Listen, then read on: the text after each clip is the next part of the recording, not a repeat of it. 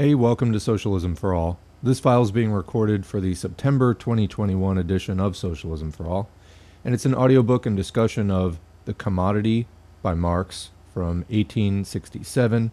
This is the first chapter of the first German edition of Capital. If you like this video, please click like and subscribe and consider supporting us on Patreon. There's a link to Patreon in the video description.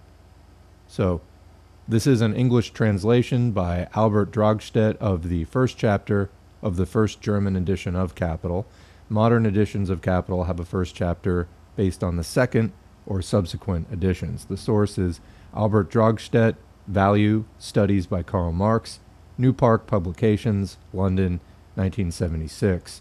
It was transcribed into HTML by Steve Palmer for Marxists Internet Archive Thanks as usual to the Marxists Internet Archive at marxists.org for hosting this file and thousands of other free Marxist texts. Please go check them out. Again, marxists.org. So we will be doing Capital, Marx's Das Kapital, here on the channel. It is part of the basic Marxism Leninism curriculum, which we have been slowly working our way through over the last year and a half and it is towards the end. A lot of people think that to study Marxist theory, you have to like go and digest this like 1500 page book. You absolutely do not. Uh, you should familiarize yourself with as much Marx as you can, and eventually, you know, if you work your way up to reading Capital one day, great.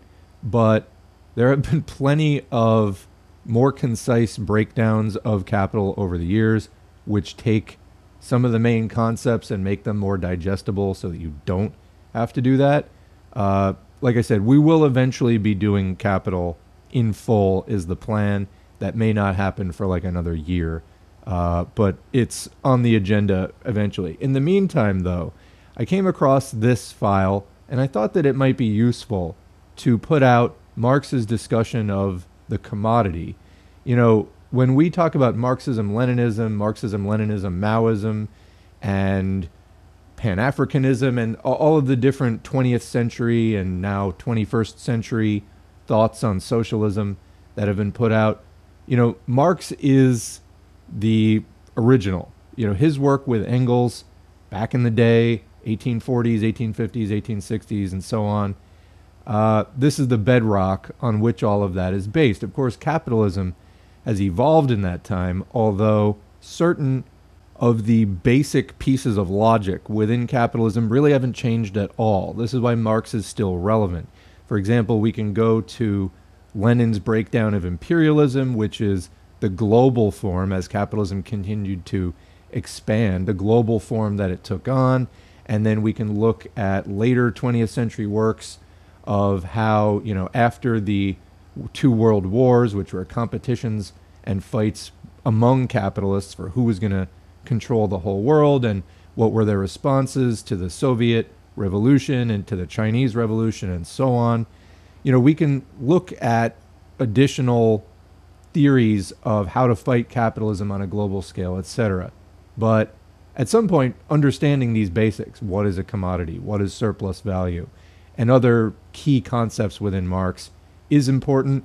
I realize we've been doing tons and tons of Lenin and other topics as they tend to pertain more to the politics.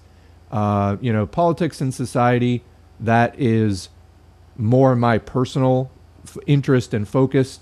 Uh, I'm not really an economist per se. There are Marxist economists who really spend their time looking at charts of quantitative data on production and this and that.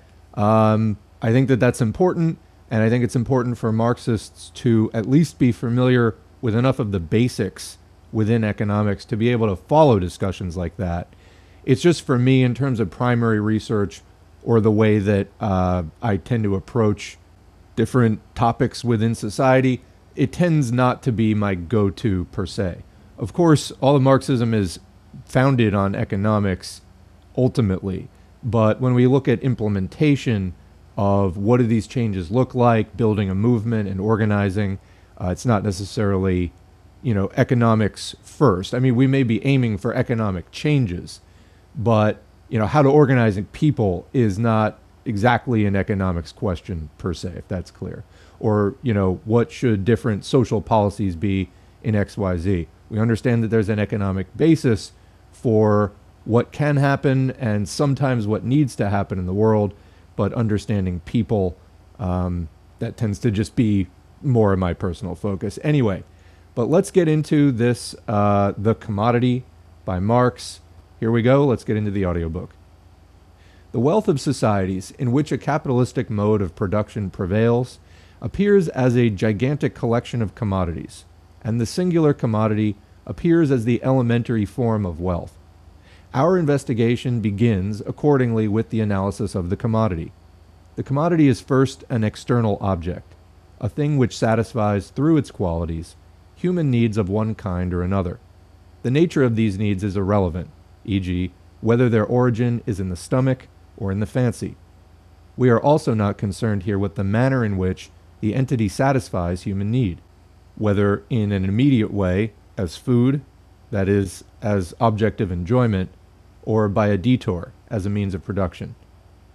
Each useful thing, iron, paper, etc., is to be considered from a double point of view in accordance with quality and quantity.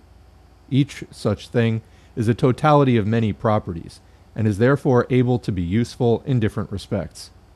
The discovery of these different respects, and hence of the manifold modes of utility of things, is an historical act.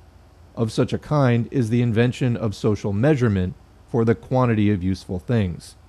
The diversity of the commodity measurements arises partly from the diverse nature of the objects to be measured, and partly from convention. It is utility of a thing for human life that turns it into a use value. By way of abbreviation, let us term the useful thing itself, or commodity body, as iron, wheat, diamond, etc., use value, good article. In the consideration of use values, quantitative determination is always presupposed, as a dozen watches, a yard of linen, a ton of iron, etc. The use values of commodities provide the material for a study of their own, the science of commodities. Use value realizes itself only in use or in consumption. Use values form the substantial content of wealth, whatever its social form may be. In the form of society which we are going to examine, they form the substantial bearers at the very same time of exchange value. Exchange value appears first of all as a quantitative relationship, the proportion in which use values of one kind are exchanged for use values of another kind, a relationship which constantly changes in accordance with time and place. That is the reason why exchange value appears to be something accidental and a purely relative thing, and therefore the reason why the formula of an exchange value, internal and immanent to the commodity, valeur intrinsique, intrinsic value, appears to be a contradictio in adjecto, contradiction in terms. Let us examine the matter more closely. Quick comment here from me. So, Marx has just introduced two major Marxist vocabulary words use values and exchange values. So, as Marx says, it is the utility of a thing for human life that turns it into a use value. So, basically, a shovel is a use value because you can do something with it. As a human being, you know, typically you have two arms and two hands, and uh, you can scoop some dirt with that shovel or sand or whatever. So it's useful. And so it is the utility of that thing that makes it a use value. So a use value. It's a thing, it's useful. Now, exchange values, this is also, Marx says, a quantitative relationship, a proportion in which use values of one kind are exchanged for use values of another kind. And that relationship of how many of this use value can you exchange for that use value, quote, constantly changes in accordance with time and place. So exchange value appears to be something accidental and a purely relative thing. And Marx continues, therefore, the reason why the formula of an exchange value internal and immanent to the commodity, or like this intrinsic value, appears to be a contradiction in terms. So Marx is about to go into this in more detail, but I just want to make sure people for whom this may be somewhat new, understands the difference between use value and exchange value. All right. A single commodity, e.g., a quarter of wheat, is exchanged with other articles in the most varied proportions. Nevertheless, its exchange value remains unchanged, regardless of whether it is expressed in X bootblacking, Y soap, Z gold, etc. It must therefore be distinguishable from these, its various manners of expression. Now let us consider two commodities, e.g., wheat and iron.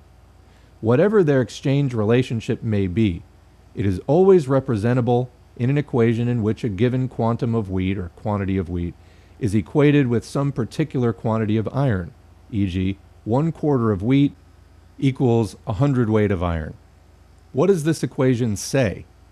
That the same value exists in two different things, in one quarter of wheat and likewise in a hundredweight of iron.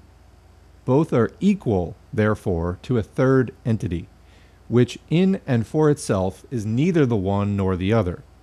Each of these two, insofar as it is an exchange value, must therefore be reducible to this third entity, independent of the other.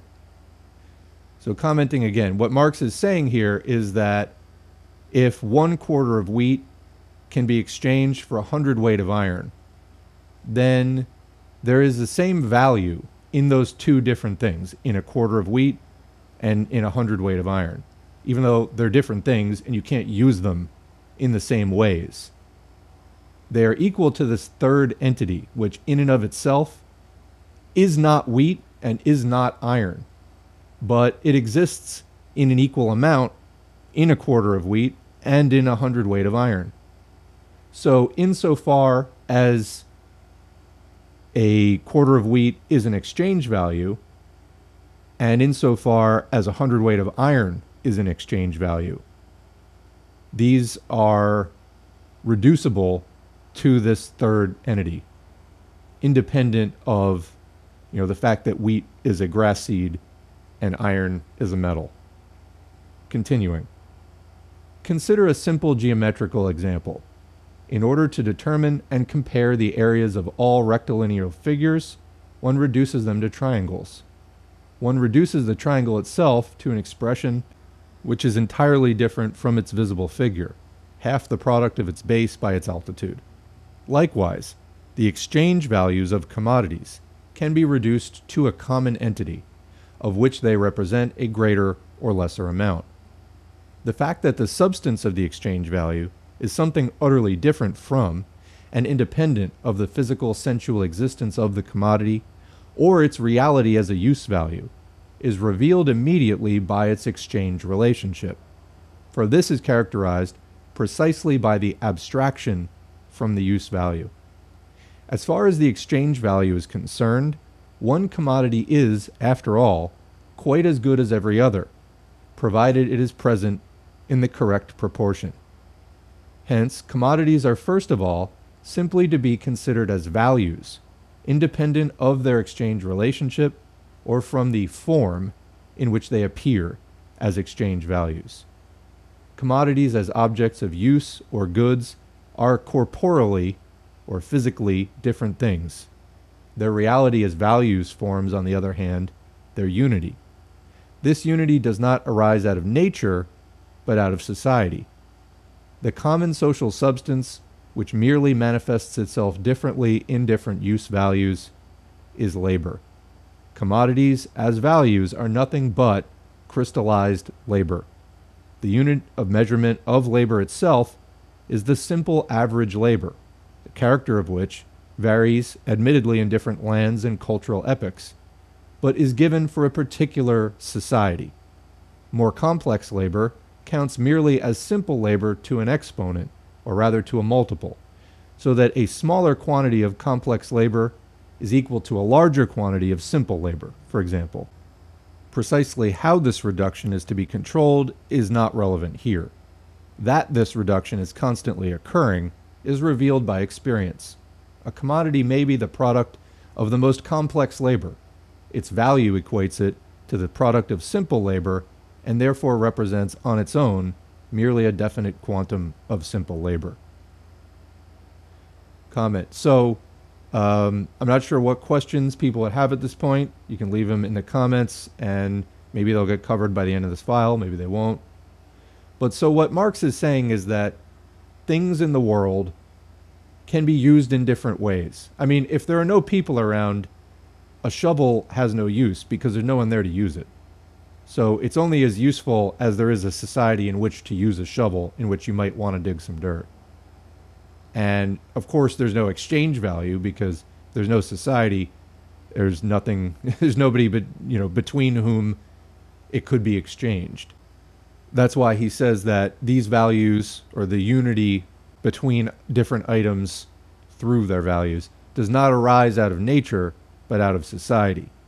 And the common social substance, which merely manifests itself differently in different use values of different forms, etc., is labor. Commodities as values are crystallized labor, and the unit of measurement of that labor is the simple average labor and so Marx says here that this quote varies in different lands and cultural epochs. And then he talks about simple labor versus complex labor. So, for example, simple labor would be you chop down a tree and, you know, with a simple hand axe, and then you, you know, carve it down and you've got your axe handle and uh, maybe you take a stone and affix it to the top. Or you could you know, set up a computer controlled factory line, which is going to do a lot of the same things. And then, you know, the labor involved there, of course, is in the building of the machine and all of that. But at the end, comes down to just, you know, pressing a button, having some energy input and other, you know, fuel or resources for the machine, etc. So the labor can be done in different ways, is what he's saying. But that basically labor crystallizes into commodities as values exchange values, and use values. He'll, he's going to go over this in a lot of different ways, so hang on for now. Continuing.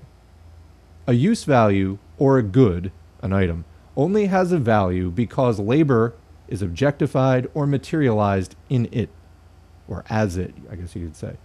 But now, how are we to measure the quantity of its value? By the quantum of the value forming substance i.e., labor, which is contained in it.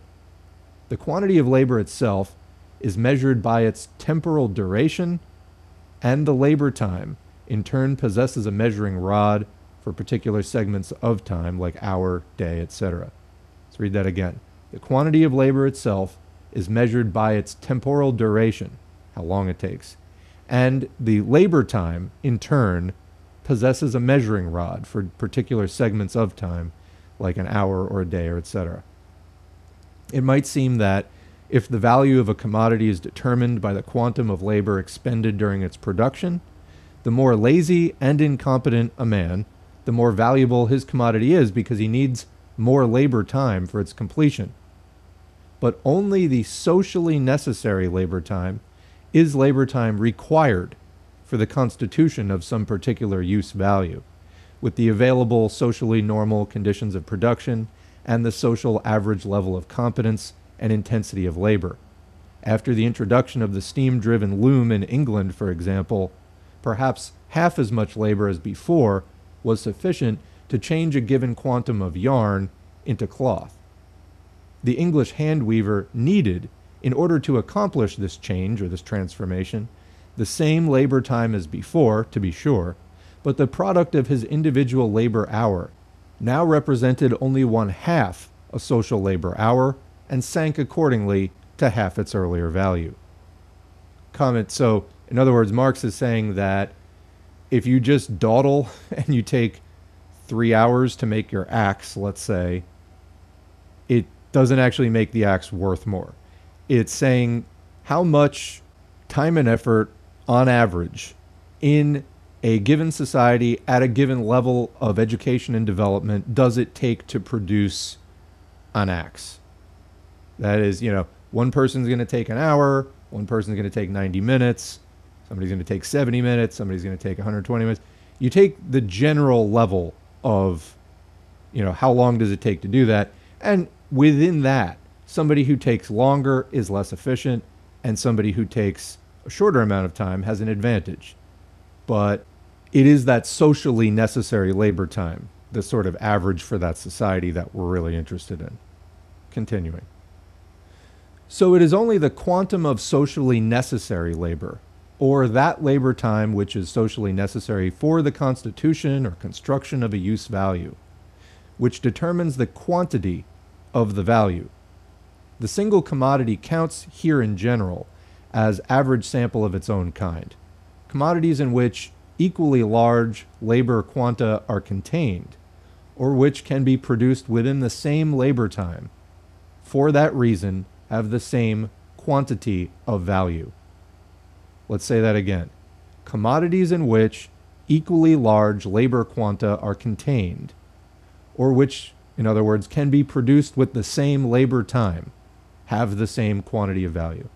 So the axe, which I'm randomly saying takes an hour to produce, has the same value as any other item which takes that same hour to produce as a use value. That is the quantum of socially necessary labor, we'll say one labor hour, which is socially necessary for the constitution of that use value. That's the quantity of the value in that commodity.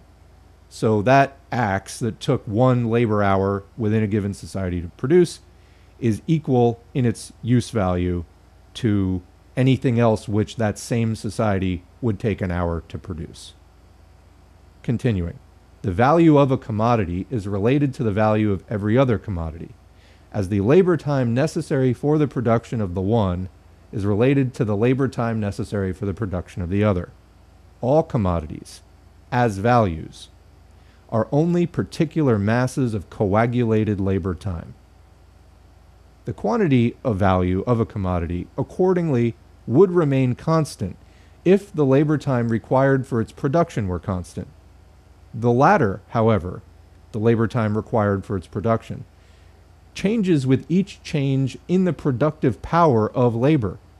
The productive power of labor is determined by many conditions, many factors, among others by the average grade of competence of the workers, the level of development of science and its technological applicability, the social combination of the process of production, the scope and the efficacy of the means of production, and by natural relationships. For example, the same quantum of labor manifests itself after good farming weather in eight bushels of wheat but after bad weather, in only four. The very same quantum of labor provides more metals in richly laden mines than in poor ones. Diamonds are rare on the surface of the earth, and their discovery therefore costs on the average much labor time. Consequently, they represent much labor in a small volume of space. Jacob doubts that gold has ever paid its complete value this holds even more true for diamonds. According to Eschwege, by 1823, the complete yield of the eight year old Brazilian diamond diggings had not yet amounted to the value of the one and a half year average product of the Brazilian sugar or coffee plantations. Given more richly laden diggings, the same quantum of labor would be represented by more diamonds, and their value would sink. If one succeeds in converting coal into synthetic diamonds with little labor, then the value of diamonds would sink beneath that of paving stones. In general, the greater the productive power of labor, the smaller is the amount of labor time required for the production of an article, and the smaller the mass of labor is crystallized in it, so the smaller is its value. And on the contrary, the smaller the productive power of labor, the greater is the labor time necessary for the production of an article, and the greater its value is. The quantity of value of a commodity varies directly as the quantum and inversely, opposite relationship, as the productive power of the labor embodying itself in the commodity. So, pausing there for a minute. So, what Marx is saying, going back to the beginning, is that the productive power of labor affects how much you can produce with each labor time unit, whether it's you know labor time, like one day of labor time, a month of, la- of labor time, etc. there are other factors that are going to affect what your level of productivity is.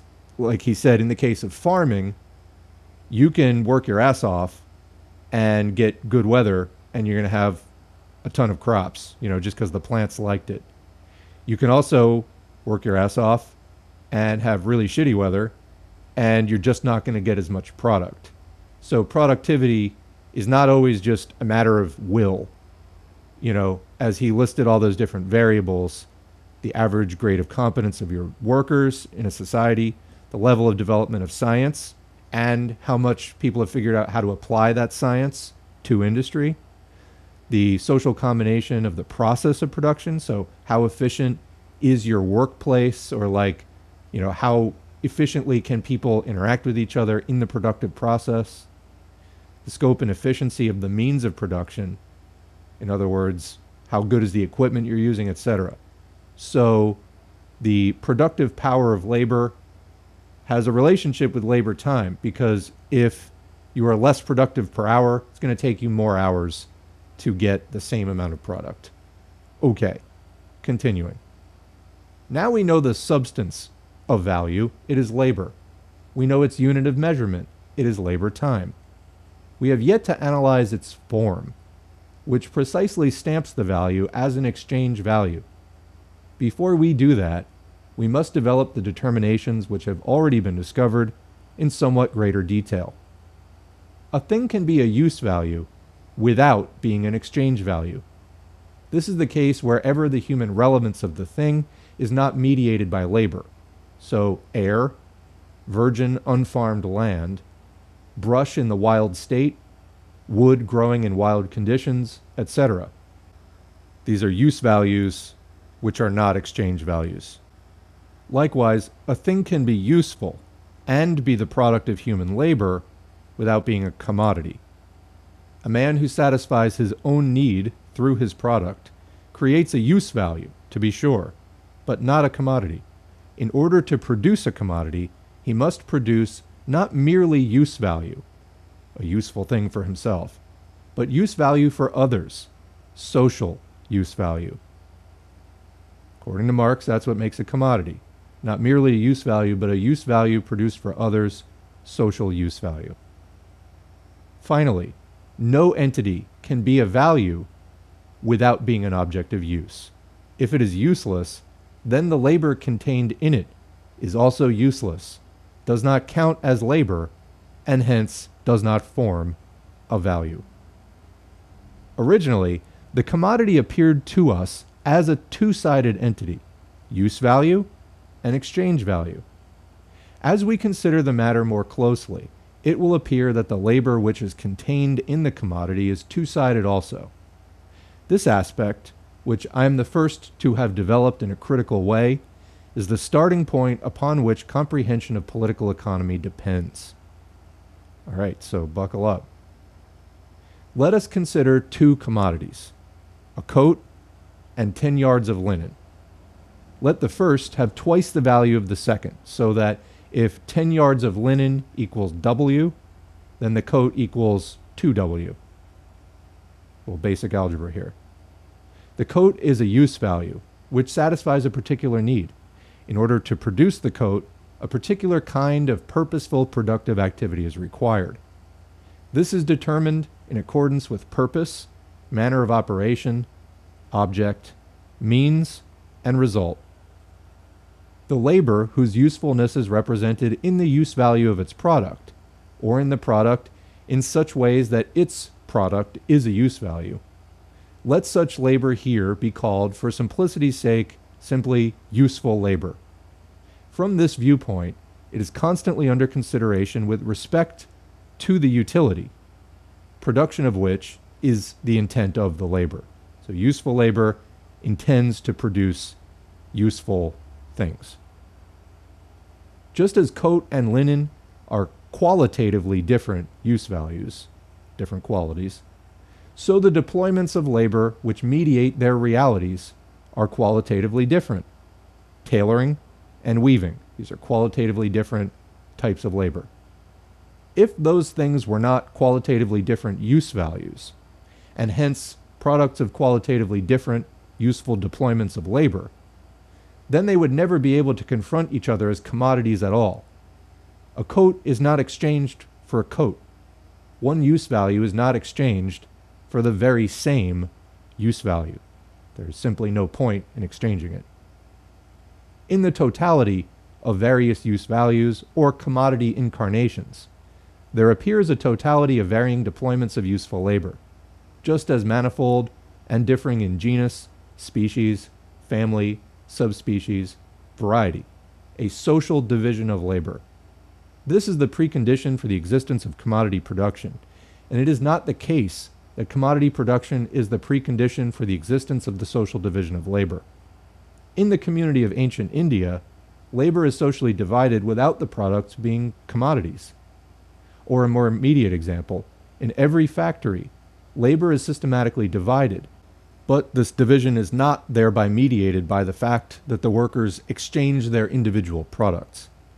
Only products of those deployments of private labor, which are self sufficient and independent of one another, confront one another as commodities. Comment. So within the factory, uh, you know, the person who makes a button and then the person who makes the sleeve, they're not trading with each other because it's all part of the same enterprise. It's just that the labor is divided up among different human individuals, you know, who are each laboring at their part of the creation. But they're not exchanging commodities within the factory. They are just merely dividing labor on the same product. Continuing. So we have observed the following that a particular purposefully productive activity, in other words, useful labor, lurks in the use value of every commodity. Use values cannot confront one another as commodities unless deployments of qualitatively different useful labor lurk in them. In a society whose products generally assume that form of commodity, i.e., in a society of commodity producers. This qualitative difference in the deployments of useful labor, which are carried on independently of one another, as the private businesses of self sufficient producers, develops into a multifaceted system, a social division of labor.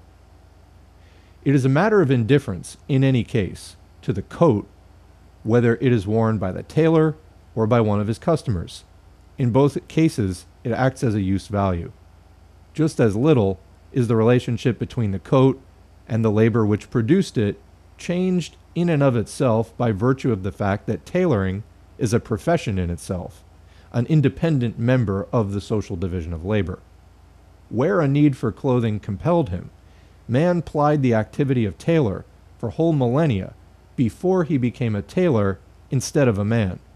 But the reality of coat, linen, and every element of material wealth, which is not given by nature in all cases, had to be mediated by a special, purposely productive activity which assimilates particular natural entities to human needs. As the former of use values, as useful labor, labor is thereby the precondition of existence for man, independent of all social forms, and an eternal necessity of nature for the sake of mediating the material interchange between humans and the rest of nature, i.e., human life. The use values, coat, linen, etc. In brief, the commodity bodies are connections of two elements natural matter and labor. If one subtracts the total sum of all different instances of useful labor which lurk inside the coat, linen, etc., there always remains a material substrate left over which is present naturally without the interference of humans. Humans can only proceed in our producing, like nature does itself i.e., it only changes the forms of material. And what is more, in this labor of formation itself, we are constantly supported by natural forces. Labor is not, therefore, the only source of those use values which are produced by it, material wealth. Labor is its father, as William Petty says, and the earth is its mother. Now let us pass from the consideration of the commodity insofar as it is a use object, to that of commodity value, i.e., exchange value. According to our assumption, the coat has double the value of linen. This, however, is only a quantitative difference, which is not yet of immediate interest to us.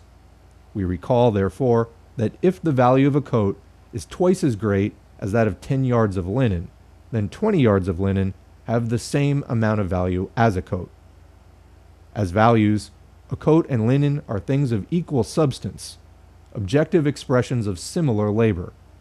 But tailoring and weaving are qualitatively different kinds of labor.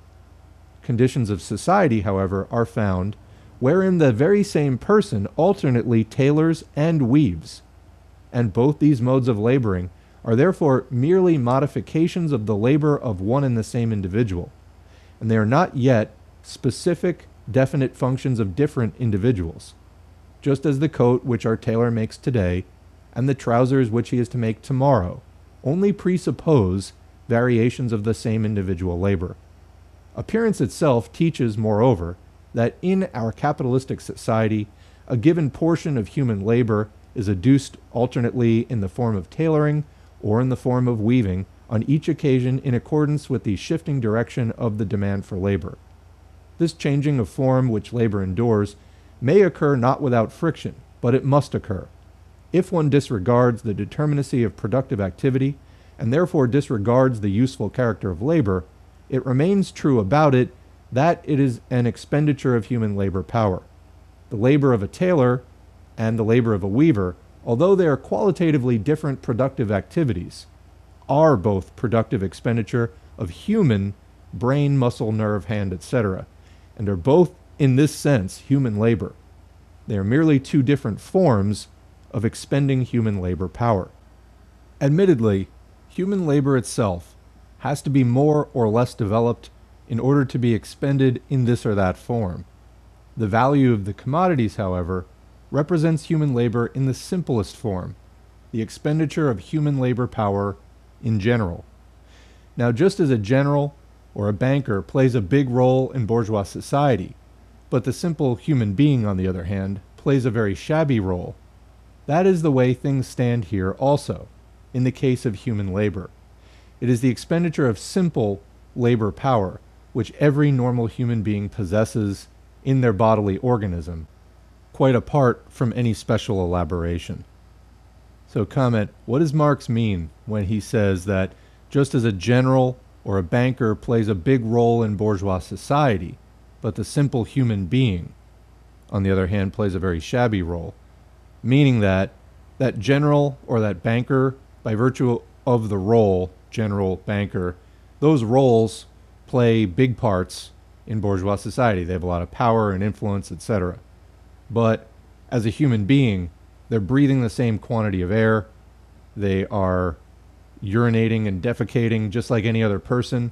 The simple human being playing that role of general or banker is not any more or less important, really, in the biological sense than any other.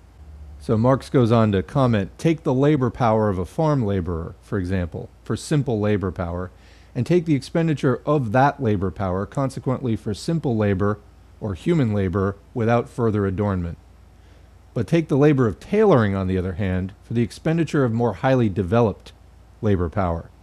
While the working day of the farm laborer is represented consequently by the value expression 1 half W, say, the working day of the tailor is represented by the value expression W.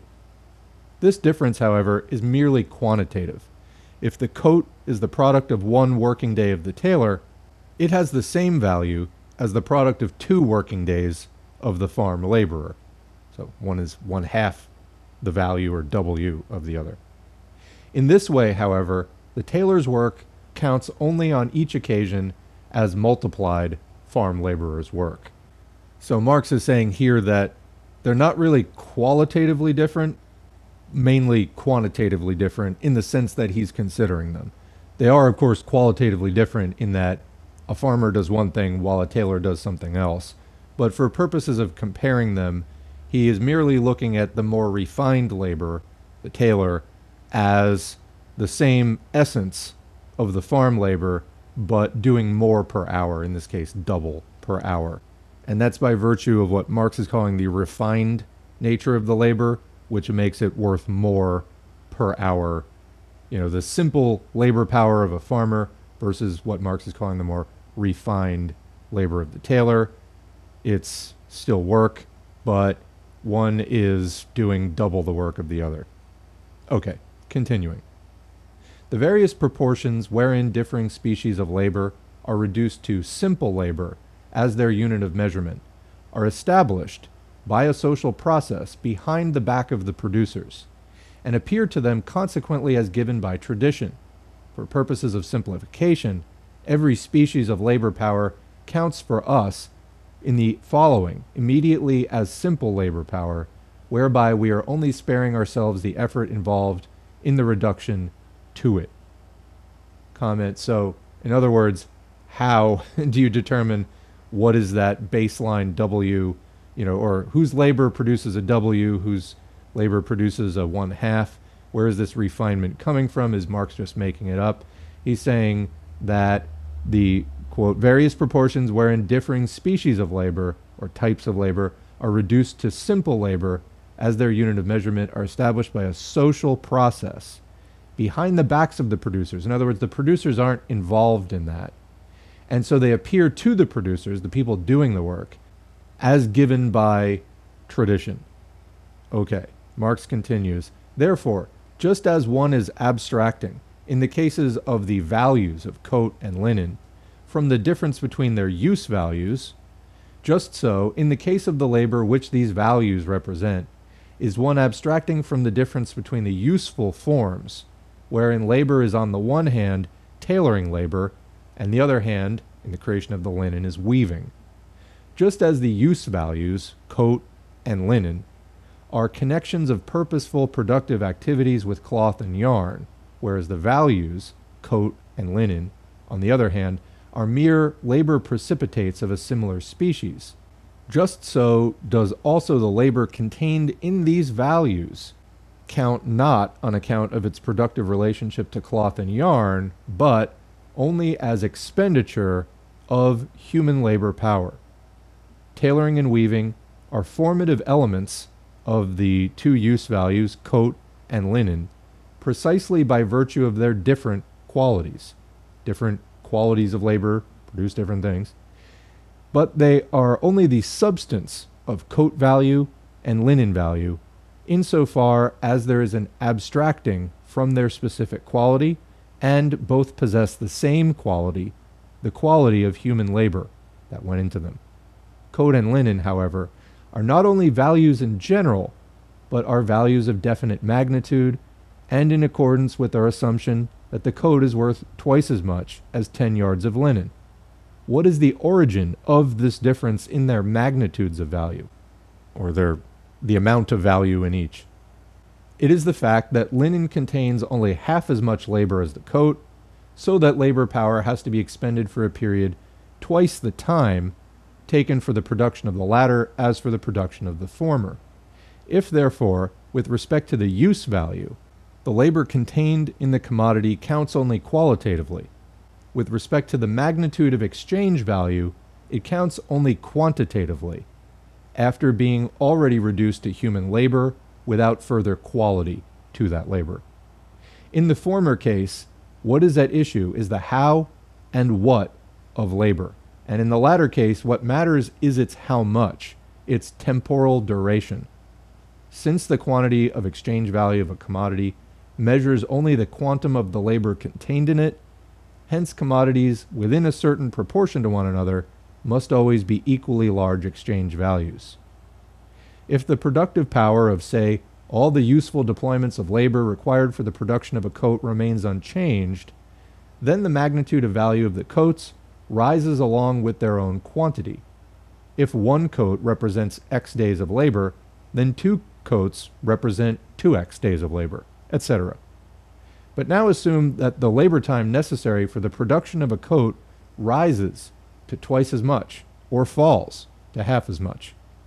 In the first instance, a coat has as much value as two coats had previously, and in the latter case, two coats have only just so much value as previously one had, although in both cases a coat performs the same tasks as before, and the useful labor contained in it remains of the same beneficence as before.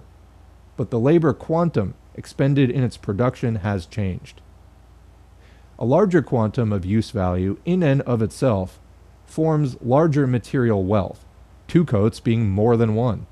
With two coats, two human beings can be clad, and with one coat, only one human being, etc.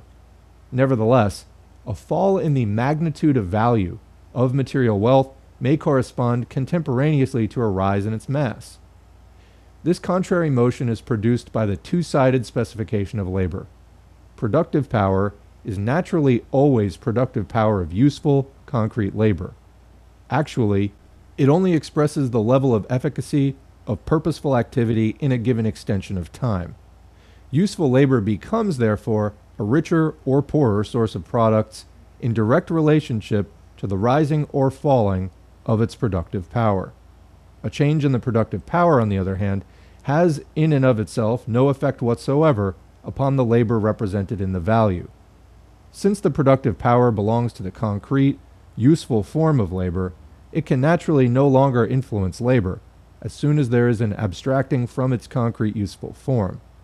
The very same labor, therefore, when it is represented in the same extensions of time, is also on all occasions represented in the same magnitude of value, however much the productive power may change.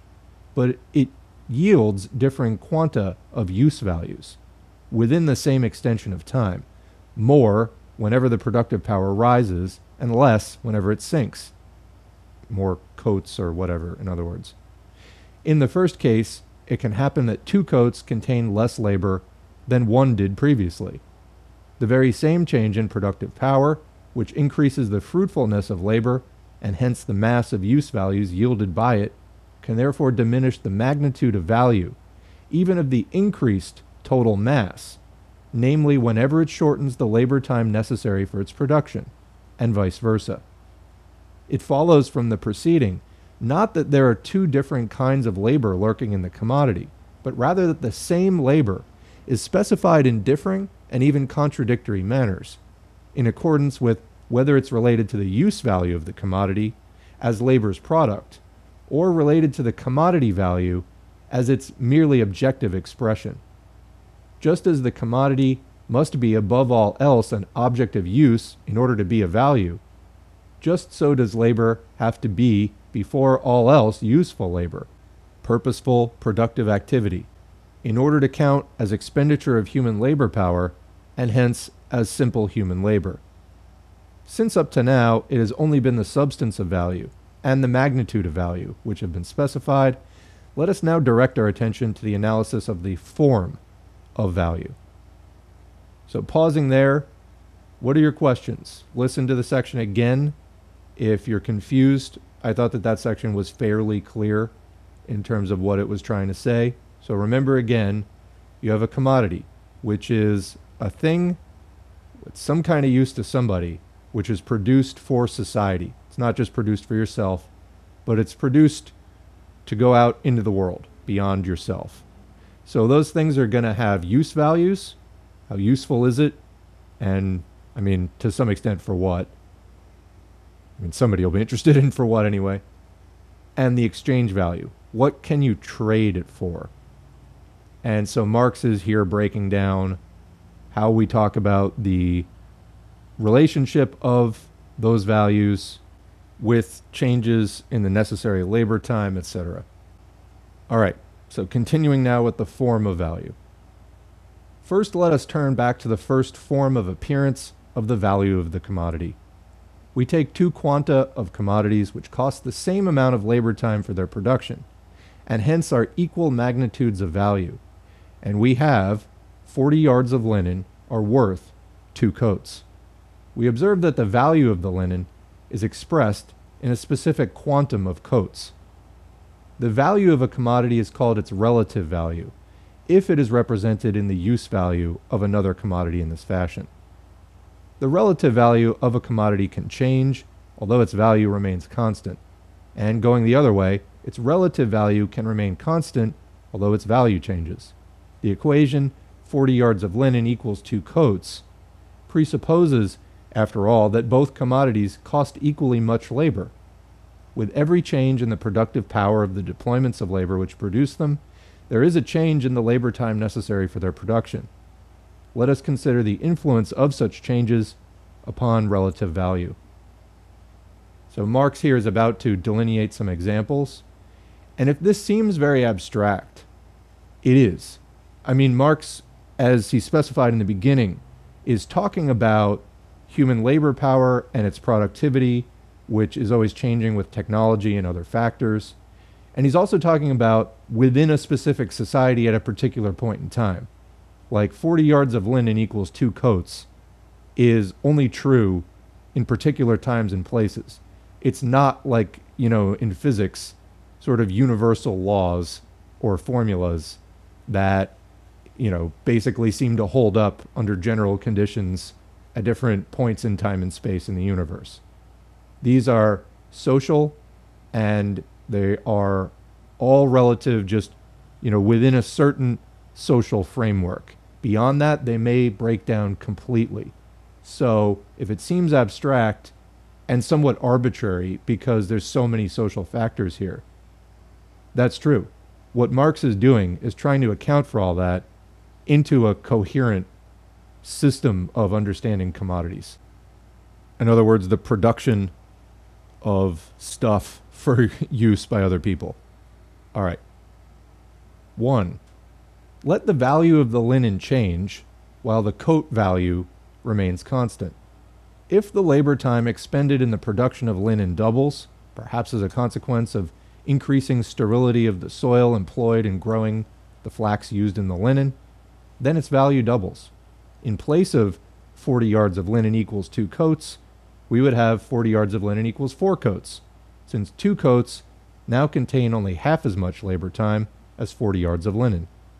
If the labor time necessary for the production of linen decreases by half, on the other hand, perhaps as a consequence of improved looms.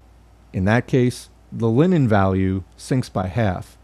In consideration of this, we now have 40 yards of linen equals one coat. The relative value of commodity A, i.e., its value expressed in commodity B, rises and falls in direct ratio to the value of commodity A, while the value of commodity B remains equal. 2. Let the value of linen remain constant while the coat value changes. If the labor time necessary for the production of the coat doubles under these conditions, perhaps as a consequence of a disappointing shearing of sheep, then we have instead of 40 yards of linen equals two coats. Now 40 yards of linen equals one coat. If the value of the coat falls by half, on the other hand, then 40 yards of linen equals four coats. Given a constant value for commodity A, its relative value, expressed in commodity B, falls or rises in inverse ratio to the change in value of B. If one compares the different cases 1 and 2, what emerges is that one and the same change of relative value can be initiated from completely opposite causes. So, in other words, you can get the same end result from entirely different processes. The equation 40 yards of linen equals 2 coats becomes 1. The equation 40 yards of linen equals 4 coats, either because the value of linen doubles or the value of the coat falls by half, and 2. The equation 40 yards of linen equals 1 coat either because the value of linen sinks by half or the value of the coat rises to twice as much. 3. Let the labor quanta necessary for the production of linen and coat vary contemporaneously in the same direction and same proportion. In this case, 2 yards of linen equals 2 coats, the same as before, however their values may have changed. In other words, in relation to something else. Their change of value becomes apparent as soon as one compares them with a third commodity, whose value has remained constant. If the values of all three commodities rose or fell contemporaneously and in the same proportion, then their relative values would still remain unchanged. One would only detect their real change of value in the fact that in the same labor time, it would hold universally that a greater or smaller quantum of commodities was yielded than before. So, in other words, relative to each other, they're still the same. So, in other words, it used to take three hours to produce either 40 yards of linen or two coats. But, you know, there was a setback or a fuel shortage or whatever, and suddenly it went from taking three hours to produce either of those two things to eight hours. Well, then, within a 100 hours, let's say, although the two things you would have the same relative amount or the ratio between them as before, you would have fewer overall because it still takes more time to produce each. It's just there wouldn't be a difference between the two because both were affected by that change. The production of both were affected by that change. Okay.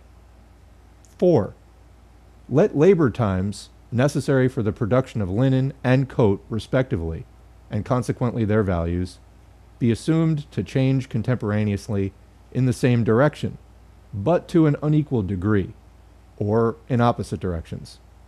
The influence of all such possible combinations upon the relative value of a commodity may be deduced simply by application of the cases 1, 2, and 3. What we have investigated is how far change in the relative magnitude of value of a commodity, linen, reflects a change in its own magnitude of value, and we have in general investigated relative value only in accordance with the quantitative side. We turn now to its form. If relative value is the form wherein value manifests itself, then the expression for the equivalence of two commodities, e.g., x of commodity A equals y of commodity B, or 20 yards of linen equals one coat, is the simple form of relative value. So, one, the first or the simple form of relative value 20 yards of linen equals one coat. X of commodity A equals Y of commodity B. This form is rather difficult to analyze because it is simple. The different specifications which are contained in it are veiled, undeveloped, abstract, and consequently only able to be distinguished and focused upon through the rather intense application of our power of abstraction but at least this much becomes clear at a glance that the form remains the same, whether 20 yards of linen equals one coat or 20 yards of linen equals X coats. Linen makes its earthly appearance in the shape of a use value, or a useful thing. Its stiff as linen corporeality, or natural form, is consequently not its form of value, but its direct opposite it reveals its own reality as value immediately by relating itself to another commodity, the coat, as equal to itself. If it were not itself value, then it could not relate itself to coat as value as its own sort of thing. In other words, they both have this value. It posits itself as qualitatively equal to the coat by relating itself to it as objectification of human labor of the same type, i.e., of its own value substance. And it posits itself as equal to only one coat instead of X coats because it is not just value in general, but value of a specific magnitude. And a coat, however, contains precisely just so much labor as 20 yards of linen. By this relationship to the coat, linen swats different flies with one stroke. By equating the other commodity to itself as value, it relates itself to itself as value. By relating itself to itself as value, it distinguishes itself from itself as use value at the same time. By expressing its magnitude of value in the coat, and magnitude of value is both things, value in general and quantitatively measured value, it endows its reality as value with a form of value which differs from its immediate existence. By revealing itself in this manner, as a thing which is differentiated within itself, it reveals itself for the first time really as a commodity, a useful thing which is at the same time value. Insofar as linen is use value, it is an independent thing. Its value appears, on the other hand, only in relationship to another commodity, e.g., the coat which a coat is, is qualitatively equated to it, the linen, and consequently in some specific quantity counts as equivalent to it, replaces it, and is exchangeable for it. Hence, value only acquires an individual form which is different from use value, only through its manifestation as exchange value. I'm going to read that sentence again. Value only acquires an individual form which is different from use value, only through its manifestation as exchange value. The expression of the value of linen in the coat impresses a new form upon the coat itself. After all, what is the meaning of the value form of linen? Evidently, that the coat is exchangeable for it. Whatever else may happen to it, in its mundane reality, it possesses in its natural form, coat, now the form of immediate exchangeability with another commodity, the form of an exchangeable use value or equivalent. That's capitalized equivalent. The specification of this big E equivalent contains not only the fact that a commodity is value at all, but the fact that it, in its corporeal shape, its use value, counts as value for another commodity, and consequently is immediately at hand as exchange value for the other commodity. As value, linen is composed exclusively of labor and forms a transparently crystallized precipitate of labor. In reality, this crystal is very murky, however, insofar as labor is detectable in it, and not every embodiment of commodity reveals the trace of labor. It is not some undifferentiated human labor, but rather weaving, spinning, etc., which in addition are by no means the only components of its substance, but of course are leavened with matter derived from nature. In order to retain linen as a merely corporeal expression of human labor, one has to abstract from all that which makes it to really be a thing. Any objectivity of human labor which is itself abstract, i.e., without any additional quality and content, is necessarily an abstract objectivity, a thing of thought. In that fashion, a web of flax turns into a chimera. But commodities are objects. They have to be what they are in an object like way, or else reveal it in their own object like relationships. In the production of linen, a particular quantum of human labor exists in having been expended. The linen's value is the merely objective reflection of the labor so expended, but it is not reflected in the body of the linen. It reveals itself, i.e., acquires essential expression by its value relationship to the coat, by the linen's equating the coat to itself as value, while at the same time distinguishing itself from the coat as object of use. What happens is that the coat becomes the form of appearance of linen value as opposed to linen body, its value form as distinguished from its natural form. In the expression of relative value, 20 yards of linen equals one coat, or X linen is worth Y of coat, one must admit that the coat counts only as value, or coagulation of labor. But it is precisely through that fact that the coagulation of labor counts as coat, and coat as the form into which human labor flows in order to congeal. The use value coat only becomes the form of appearance of linen value because linen relates itself to the material of the coat to an immediate materialization of abstract human labor, and thus to labor which is of the same kind as that which is objectified within the linen itself. The object, coat, counts for it as a sensually palpable objectification of human labor of the same kind, and consequently as value in natural form. Since it is, as value, of the same essence as the coat, the natural form, coat, thereby becomes the form of appearance of its own value. But the labor represented in the use value, coat, is not simply human labor, but is rather a particular useful labor, tailoring. Simple human labor, expenditure of human labor power, is capable of receiving each and every determination. It is true, but is undetermined just in and of itself. It can only realize and objectify itself as soon as human labor power is expended in a determined form as determined and specified labor, because it is only determined and specified labor which can be confronted by some natural entity, an external material in which labor objectifies itself.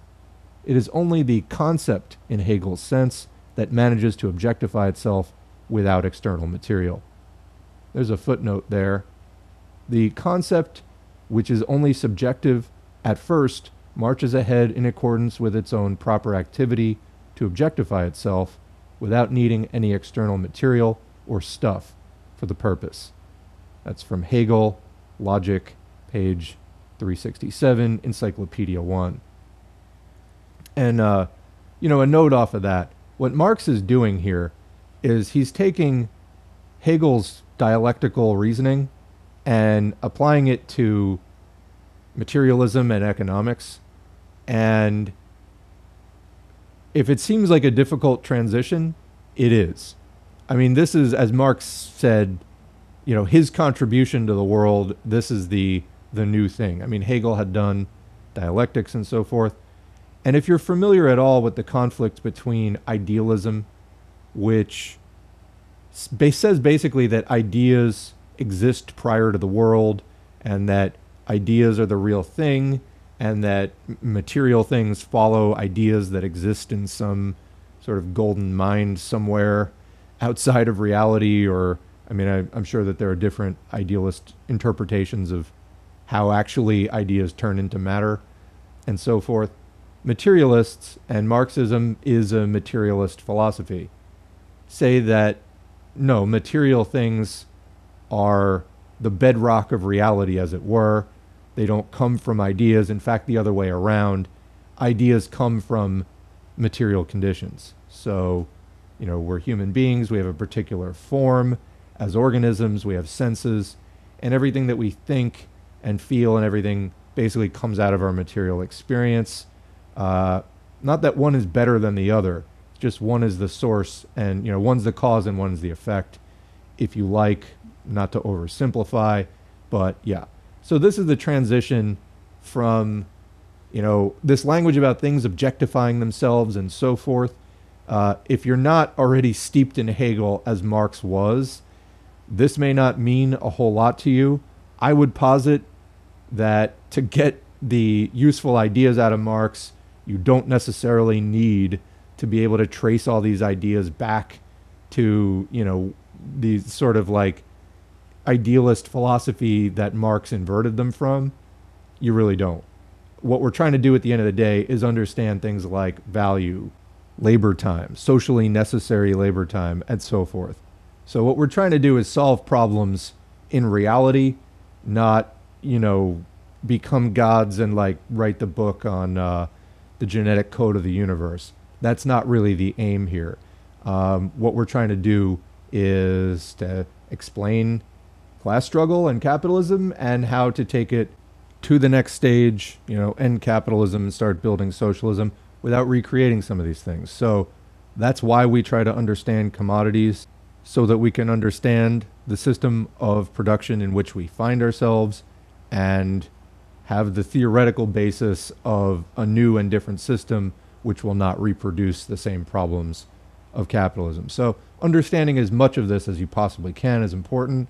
And let me add also, we're about halfway through this particular file.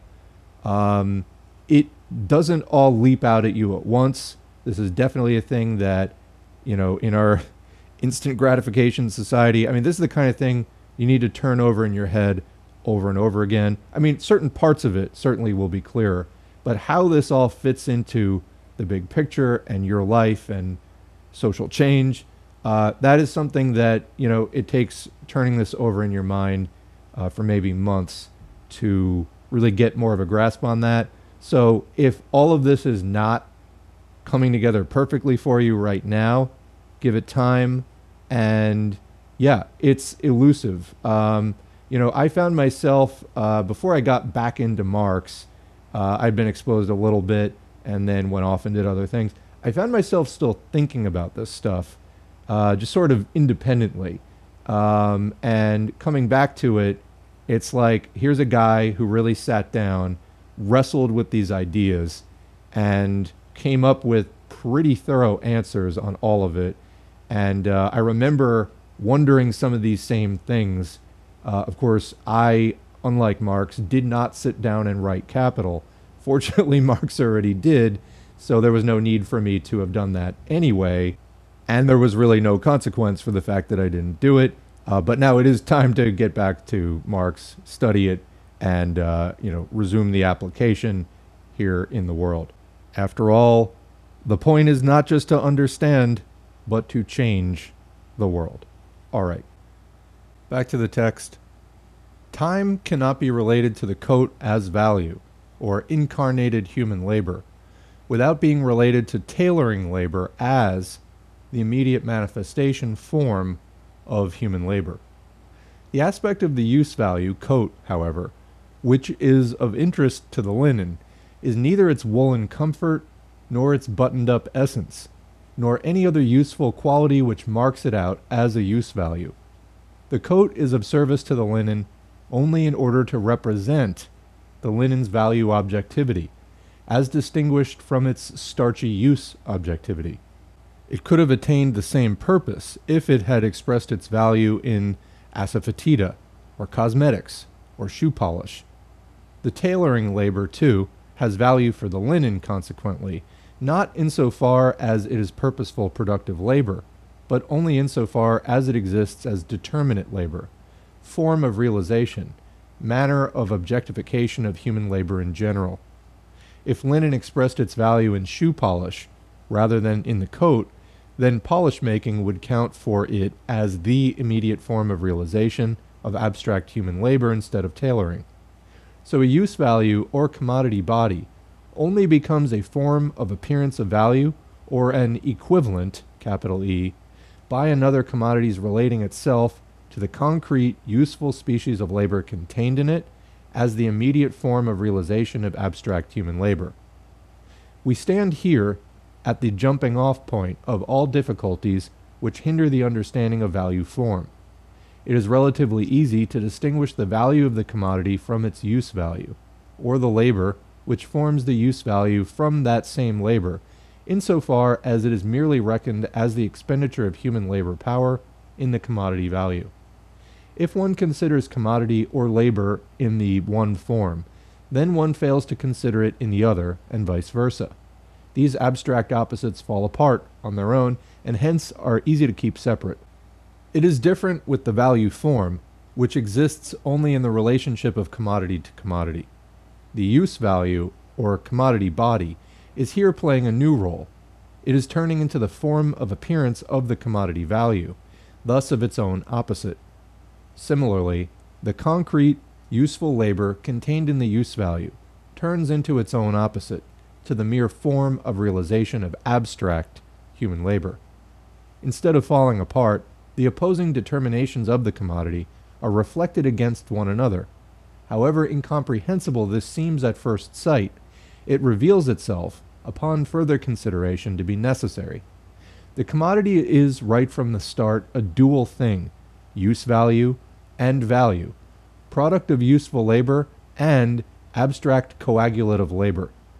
In order to manifest itself as what it is, it must therefore double its form. It possesses right from nature the form of a use value. That is its natural form.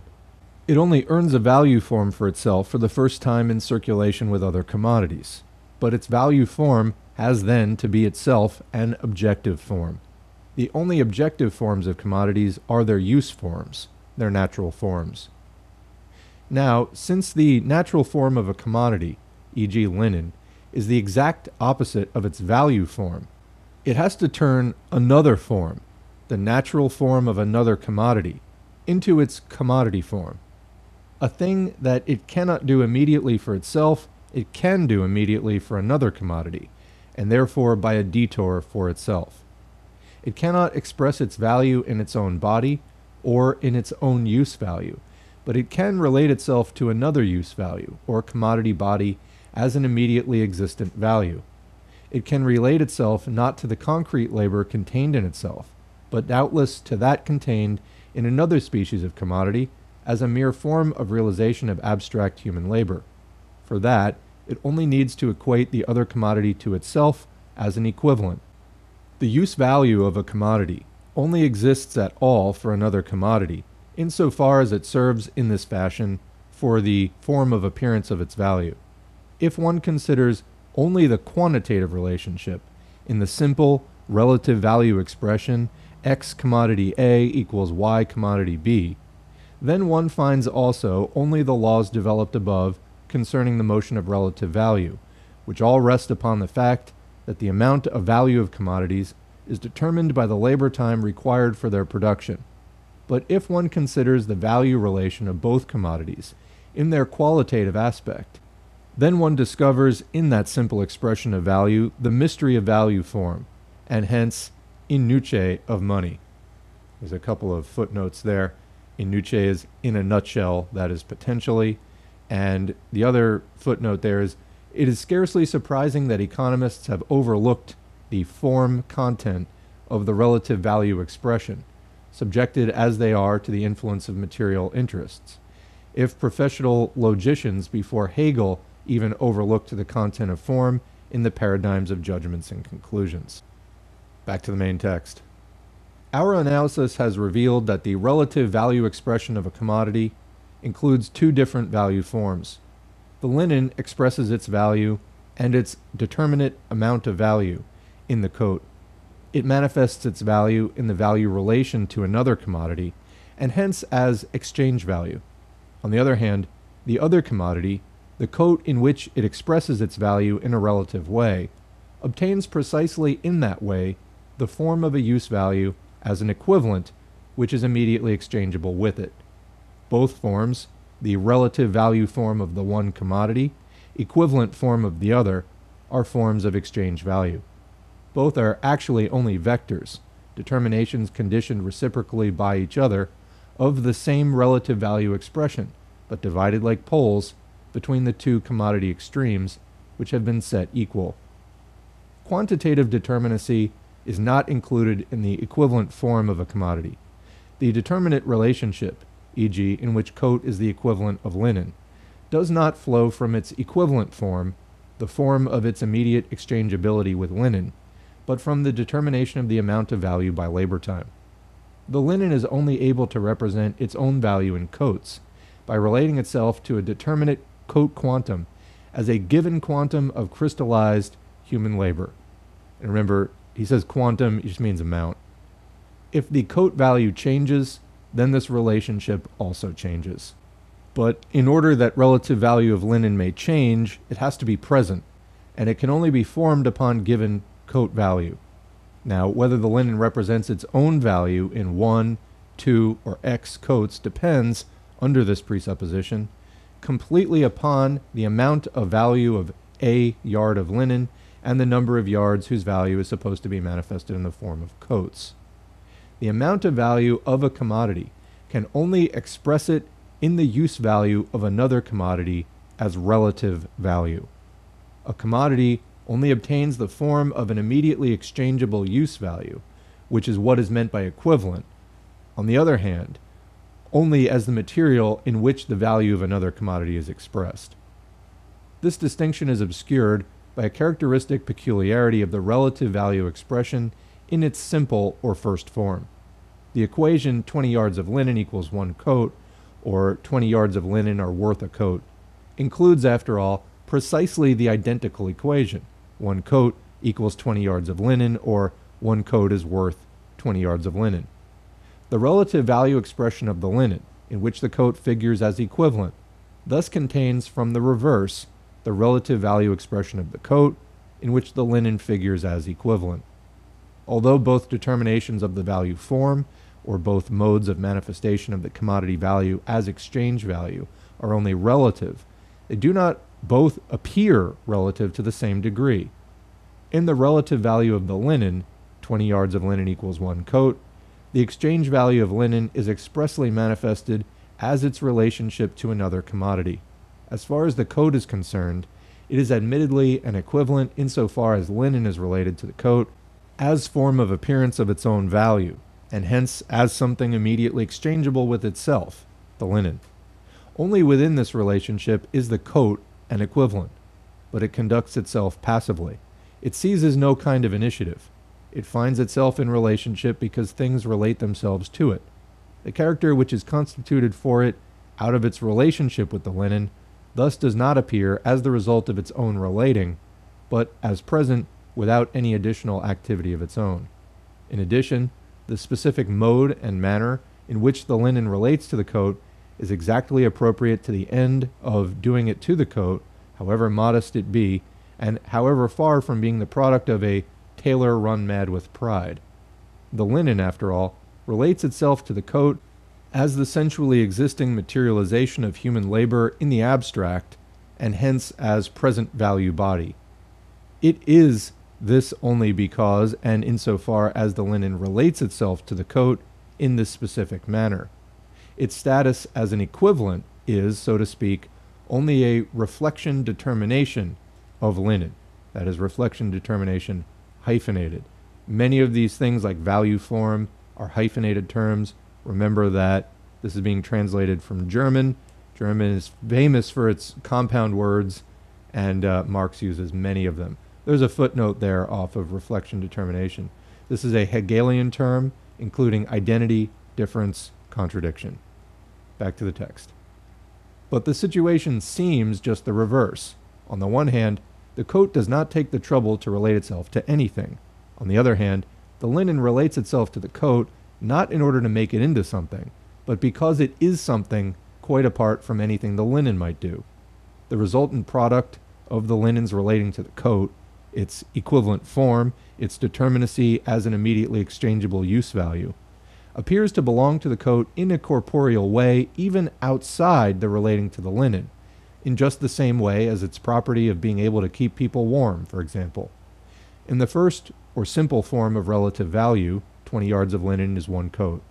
This false seeming is not yet established because this form expresses in an immediate way also the opposite that the coat is an equivalent of the linen, and that each of the two commodities only possesses this determination because, and insofar as, the other makes it into its own relative value expression. There's a footnote there. There is something special about such reflection determinations. This man here is, for example, only king because other men behave towards him like subjects. They believe, however, that they are subjects because he is king. Parentheses, which he would not be if they were not treating him that way, but that is affecting them. Okay. In the simple form of relative value, or the expression of the equivalence of two commodities, the development of the form of value is correspondent for both commodities, although in each case in the opposite direction. The relative value expression is in addition identical with reference to each of both commodities, for the linen manifests its value in only one commodity, the coat, and vice versa. But this value expression is double for both commodities, different for each of the same. Finally, each of both commodities is only an equivalent for the single other species of commodity, and thus only a single equivalent. Such an equation as 20 yards of linen equals one coat, or 20 yards of linen are worth one coat, evidently expresses the value of the commodity in only a very limited and one sided way. If I compare the linen, for example, with other commodities instead of coats, then I also obtain other relative value expressions, other equations, like 20 yards of linen equals U coffee, 20 yards of linen equals VT, etc. The linen has just as many different relative value expressions as there exist commodities different from it, and the number of its relative value expressions constantly increases with the number of kinds of commodities which newly enter into existence. The first form, 20 yards of linen equals one coat, yielded two relative expressions for the value of two commodities. This second form yields the most variegated mosaic of relative expressions for the value of the same commodity. In addition, there seems to be nothing gained either for the expression of the amount of value, for the amount of value of linen, which obviously remains the same in every expression, is just as exhaustively expressed in 20 yards of linen equals one coat, as in 20 yards of linen equals you, coffee, etc. The coffee and the etc. are only single equivalents, just as the coat was. Nevertheless, This second form contains within itself an essential development of form, for latent in it is, after all, not only the fact that linen happens to express its value at one time in coats and at another time in coffee, etc., but the fact that it expresses its value as much in coats as in coffee, etc., either in this commodity or that or the third, etc. The continuing determination is revealed as soon as this second or developed form of the relative value expression is manifested in its connection. We obtain then, part 2, the second or developed form of relative value. 20 yards of linen equals one coat, or equals U coffee, or equals V tea, or equals X iron, or equals Y wheat, or etc., etc. Z of commodity A equals U of commodity B, or equals V of commodity C, or equals W of commodity D, equals X commodity E, or equals Y of commodity F, or equals etc. The first thing is that the first form constitutes the basic element of the second, for the latter consists of many simple relative value expressions as 20 yards of linen equals one coat, 20 yards of linen equals U coffee, etc. In the first form, 20 yards of linen equals one coat, it may appear like an accidental fact that these two commodities are exchangeable in this specific quantitative relationship. In the second form, however, a background which is essentially different from and determinant of the accidental appearance immediately shines through. The value of the linen remains equally large, whether expressed in coat, coffee, iron, etc., in innumerably different commodities belonging to the most different possessors. The accidental relationship of two individual possessors of commodities falls away. It becomes clear that it is not the exchange which regulates the amount of value of the commodity, but in the opposite way, the amount of value of the commodity which regulates its relationships of exchange. In the expression 20 yards of linen equals one coat, the coat counted as the form of appearance of the work objectified in the linen. In that way, the labor contained in the linen was equated to the labor contained in the coat and was thereby determined as comparable human labor. This determination did not, however, reveal itself expressly. At the level of immediacy, the first form equates the labor contained in the linen only to the labor of tailoring, otherwise, with the second form. In the indefinite, constantly extendable series of its relative value expressions, the linen relates itself to all possible commodity bodies as mere form of appearance of the labor which is contained in itself. Consequently, it is at this point that the linen value is for the first time really manifested as value, i.e., or crystallization of human labor in general. The second form consists of a sum of the familiar equations of the first form. Each of these equations, like 20 yards of linen equals one coat, contains also the reciprocal, one coat, 20 yards of linen, in which case the coat manifests its value in the linen and precisely thereby manifests the linen as an equivalent. Now, since this holds of each of the innumerable relative value expressions of linen, we obtain 3, the third, reversed or reciprocal second form of relative value. One coat equals 20 yards of linen, U coffee equals 20 yards of linen, VT equals 20 yards of linen, X iron equals 20 yards of linen, Y wheat equals 20 yards of linen, and so on. The relative value expression returns at this point to its original form. One coat equals 20 yards of linen. Now, however, this simple equation is further developed.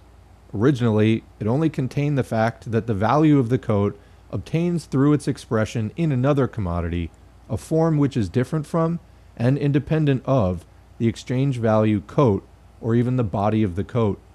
Now, the very same form manifests the coat with respect to all other commodities whatsoever as value not only the coat, but also coffee, iron, wheat.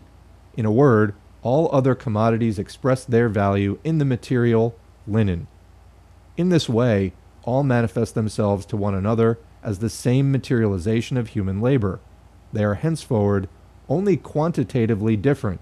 which is the reason why one coat, U coffee, X iron, etc., i.e., different amounts of these different things, equal 20 yards of linen, equal to the same amount of objectified human labor.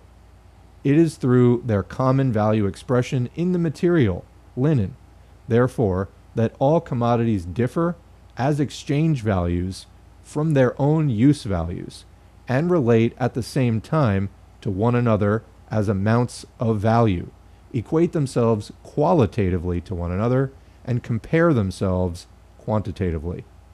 Only in this unified relative value expression do they all appear for the first time as values for one another, and their value consequently obtains for the first time its corresponding form of appearance as exchange value, as opposed to the developed form of relative value, form 2, which manifests the value of a commodity in the environment of all other commodities.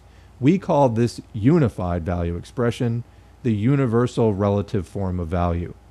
In form 2, 20 yards of linen equals one coat, or equals U coffee, or VT, or X iron, etc. The form in which the linen develops its relative value expression. It relates itself to each individual commodity, coat, coffee, etc., as a specific equivalent, and to all of them together as to the environment of its specific forms of the equivalent. No individual species of commodity counts any longer with respect to the linen as simple equivalent, as in the particular equivalent, but only as specific equivalent, whereby the one equivalent excludes the other. In form 3, which is the reciprocal second form and is therefore contained in it, the linen appears, on the other hand, as the general form of the equivalent for all other commodities. It is as if, alongside and external to lions, tigers, rabbits, and all other actual animals, which form, when grouped together, the various kinds, subspecies, species, families, etc., of the animal kingdom. There also existed, in addition, the animal, the individual incarnation of the entire animal kingdom. Such a particular, which contains within itself all really present species of the same entity, is a universal, like animal, God, etc just as linen consequently became an individual equivalent by the fact that one other commodity related itself to it as form of appearance of value. That is the way linen becomes as the form of appearance of value common to all commodities, the universal equivalent, universal value body, universal materialization of abstract human labor. The specific labor materialized in it now thereby counts as universal form of realization of human labor, as universal labor. During the process in which the value of commodity A is displayed in commodity B, whereby commodity B becomes a single equivalent, it was indifferent of what specific type commodity B happened to be. The corporeality of commodity B only had to be of a different species than that of commodity A, and therefore had also to be a product of other useful labor. By the coat's displaying its value in linen, it related itself to linen as the realized human labor, and precisely thereby related itself to linen weaving as the realization form of human labor, but the specific determinacy, which distinguishes linen weaving from other kinds of labor, was completely indifferent or irrelevant. It only had to be of another kind than tailoring, and in any case, had to be a specific kind of labor. It is otherwise, as soon as linen becomes a universal equivalent. This use value, in its special determinacy, through which it is linen as opposed to all other kinds of commodities, coffee, iron, so on, now becomes the universal form of value of all other commodities, and hence a universal equivalent. The particular useful kind of labor manifested in it therefore now counts as universal form of realization of human labor, as universal labor, precisely in so far as it is labor of particular determinacy, linen weaving as opposed not only to tailoring, but to coffee growing, mining, and all other kinds of labor. On the other hand, all other kinds of labor count in the relative value expression of linen, the universal equivalent, Form 2, henceforth only as particular forms of realization of human labor. As values, the commodities are expressions of the same unity of abstract human labor. In the form of exchange value, they appear to one another as values and relate themselves to one another as values. They thereby relate themselves at the same time to abstract human labor as their common social substance.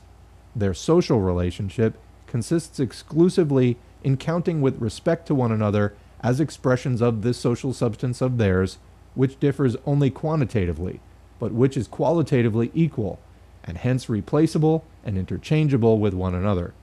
As a useful thing, a commodity possesses social determinacy insofar as it is use value for people other than its possessor, and hence satisfies social needs. But it is indifferent just whose needs the commodity's useful properties related to. The commodity, nevertheless, can only become, through these properties, in all cases, only an object related to human needs, but not a commodity for other commodities. It is only the kind of thing that can turn mere objects of use into commodities, and hence set into social rapport.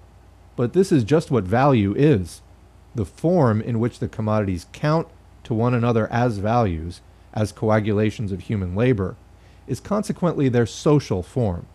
Social form of the commodity and value form, or form of exchangeability, are thus one and the same thing.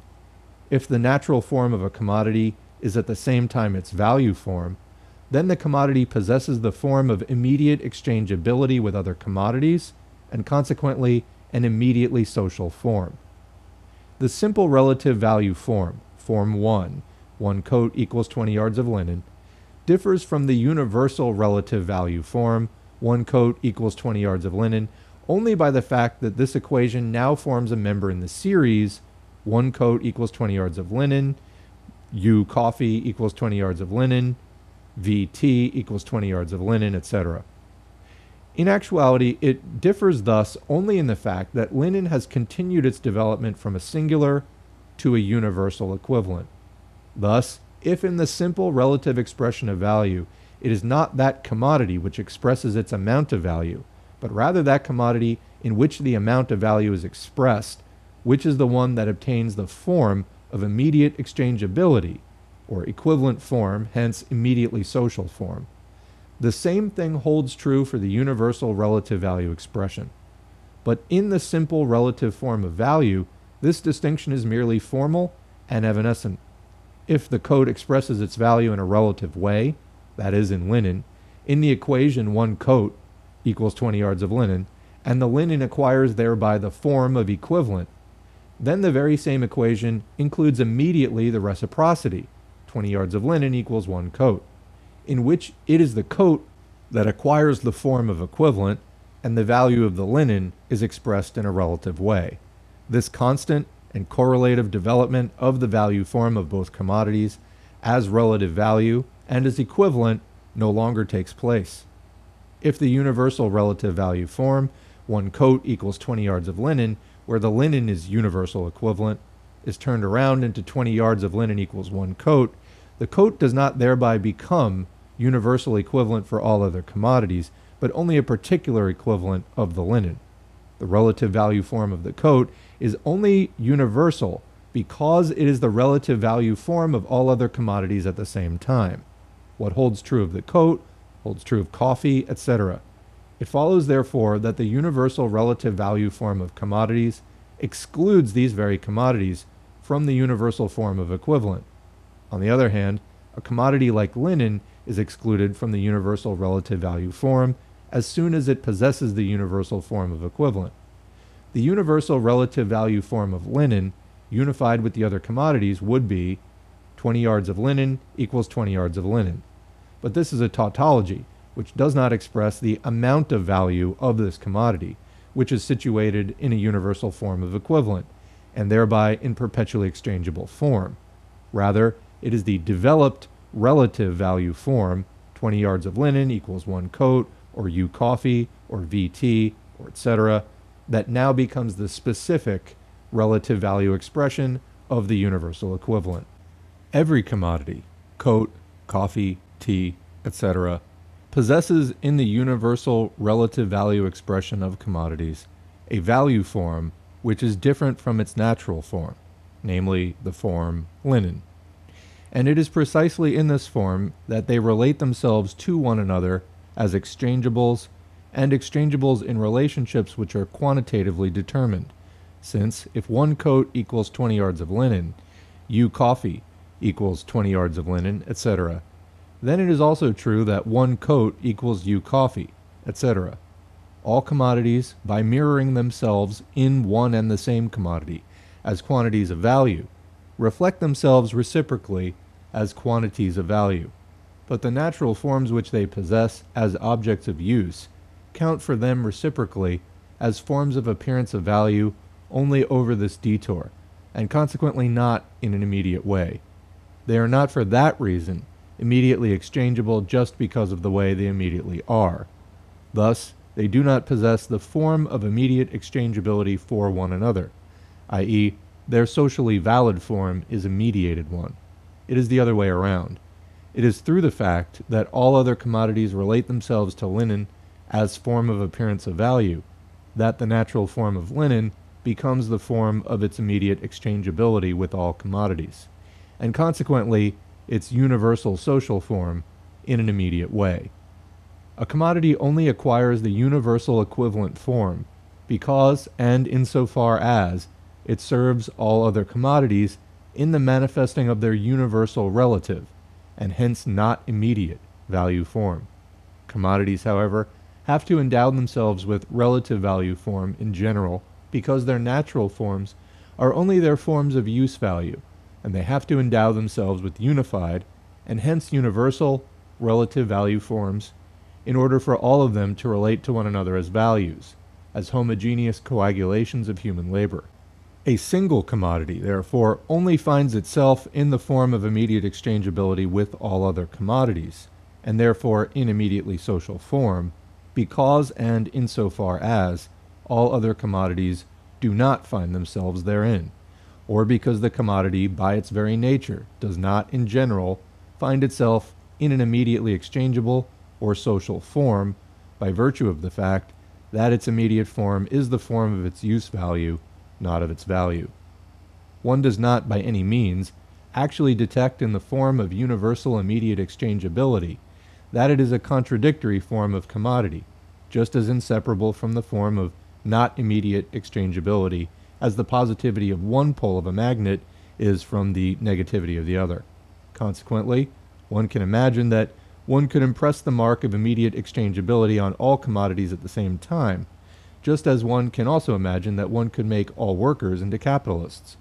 Actually, however, universal relative value form and universal equivalent form are the contradictory, reciprocally presupposing, and reciprocally repelling poles of the very same social form of commodities. As immediate social materialization of labor, linen is, as the universal equivalent, materialization of immediately social labor, while other bodies of commodities, which represent their value in linen, are materializations of not immediately social labors. Actually, all use values are only commodities because they are products of private laborers, which are independent of one another. Private laborers, which, however, depend materially upon one another as particular members, even though rendered self sufficient, of the primordial system of division of labor. In this fashion, they hang together socially precisely through their differentiation, their particular usefulness. That is exactly the reason why they produce qualitatively differing use values. If they did not, then these use values would not become commodities for one another. On the other hand, this differing useful quality does not yet make products into commodities.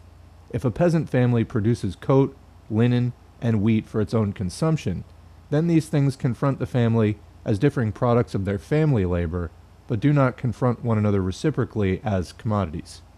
If the commodity were immediately social, i.e., common labor, then the products would acquire the immediately social character of a common product for its producers, but not the character of commodities for one another.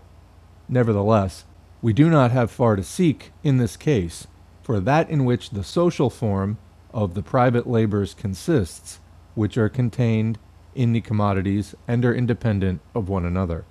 It already yielded itself out of the analysis of the commodity. The commodity's social form is their relationship to one another as equal labor. Hence, since the equality of utterly different labors can only exist in an abstraction from their inequality, their relationship to one another as human labor in general. Expenditures of human labor power, which is what all human labors, whatever their content and their mode of operation, actually are. In each social form of labor, the labors of different individuals are related to one another as human labors too, but in this case, this relating itself counts as the specifically social form of the labors. Now, none of these private labors, in its natural form, possesses this specifically social form of abstract human labor, just as little as the commodity in its natural form possesses the social form of mere coagulation of labor or value. However, through the fact that the natural form of a commodity, linen in this case, becomes a universal equivalent form because all other commodities relate themselves to this natural form as the appearance form of their own value. Hence, linen weaving also turns into a universal form of realization of abstract human labor or into labor of immediately social form. The standard of socialness must be borrowed from the nature of those relationships which are proper to each mode of production, and not from conceptions which are foreign to it. Just as we demonstrated earlier, that the commodity naturally excludes the immediate form of universal exchangeability, and that the universal equivalent form consequently can only develop in a contradictory way. So the same thing holds for the private labors lurking in the commodities. Since they are not immediately social labor, in the first place, the social form is a form which differs from the natural forms of the real, useful labors and is foreign to them and abstract.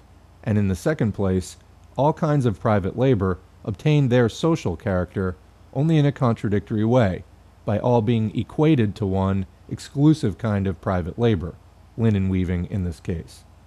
This latter thereby becomes the immediate and universal form of appearance of abstract human labor, and thereby labor in immediately social form. It manifests itself consequently also in a product which is socially valid and universally exchangeable. The illusion, as if the equivalent form of a commodity resulted from its own corporeal nature, instead of being a mere reflex of the relationships of other commodities.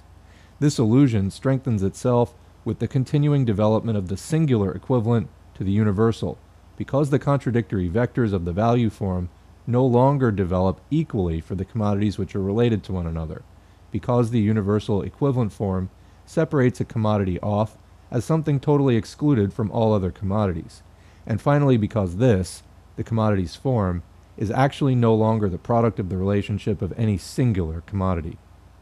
From our present standpoint, the universal equivalent has not yet by any means ossified, however. What was the way in which linen was metamorphosed into the universal equivalent actually? By the fact that it displayed its value, first in one single commodity, form 1, then in all other commodities in order in a relative way, Form 2, and thereby all other commodities reflexively displayed their values in it in a relative way, Form 3. The simple relative value expression was the seed out of which the universal equivalent form of linen developed. It changes its role within this development. It begins by displaying its amount of value in one other commodity and ends by serving as material for the value expression of all other commodities. What holds for linen holds for every other commodity. In its developed relative value expression, Form 2, which only consists of its many simple value expressions, the linen does not yet figure as universal equivalent.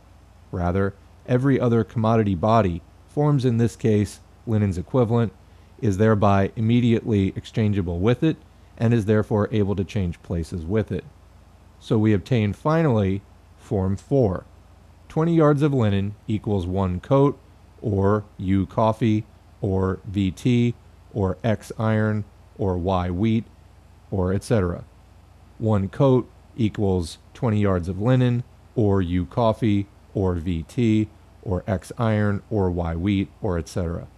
U coffee equals 20 yards of linen, or one coat, or VT, or X iron, or Y wheat, or etc. VT equals 20 yards of linen, etc.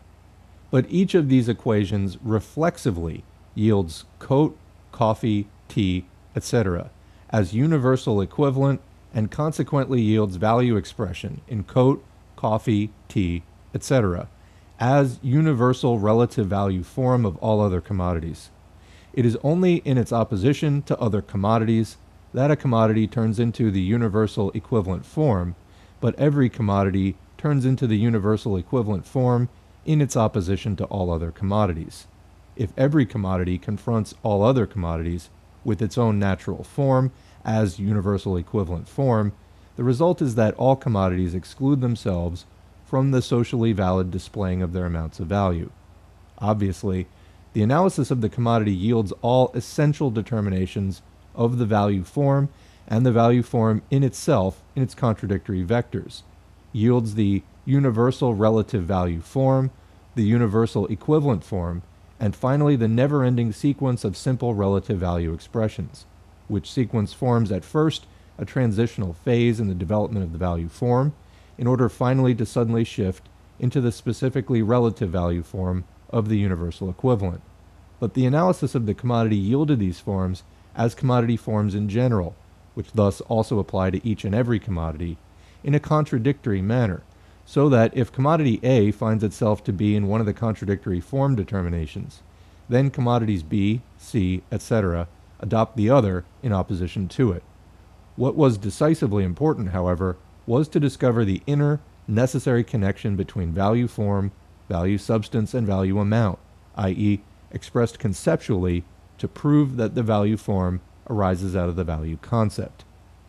A commodity seems at first glance to be a self evident trivial thing. The analysis of it yields the insight that is a very vexatious thing, full of metaphysical subtlety and theological perversities. As mere use value, it is a sensual thing in which there is nothing portentous, whether I happen to consider it from the viewpoint that its attributes satisfy human needs, or that it obtains these attributes only as a product of human labor. There is absolutely nothing of a riddle in the fact that man changes by his activity the forms of natural matter in a way which is useful to us. The form of wood, for example, is changed if one makes a table out of it. Nevertheless, the table remains wood, an ordinary, sensual thing. But as soon as it steps out as commodity, it metamorphoses itself into a sensually supersensual thing. It does not only stand with its feet on the ground, but it confronts all other commodities on its head and develops out of its wooden head caprices which are much more wondrous than if it all of a sudden began to dance. The mystical character of the commodity thus does not arise in its use value. It arises just as little out of the value determinations considered in themselves. For in the first place, however different the useful labors or productive activities may be, it is a physiological truth that they are functions of a specifically human organism as distinguished from other organisms, and that every such function, whatever its content and its form, is essentially expenditure of human brain, nerve, muscle, organ of perception, and so on. In the second place, if we consider that which lies at the basis of the determination of the amount of value, the duration of time of that expenditure, or the quantity of labor, it is clear that the quantity is distinguishable from the quality of labor in a way which is even perceptible with the naked eye. In all conditions, it was the time of labor which the production of necessities costs that had to be of concern to man, although not to the same degree at different levels of development. Finally, as soon as men work for one another in any manner, their labor acquires, in addition, a social form.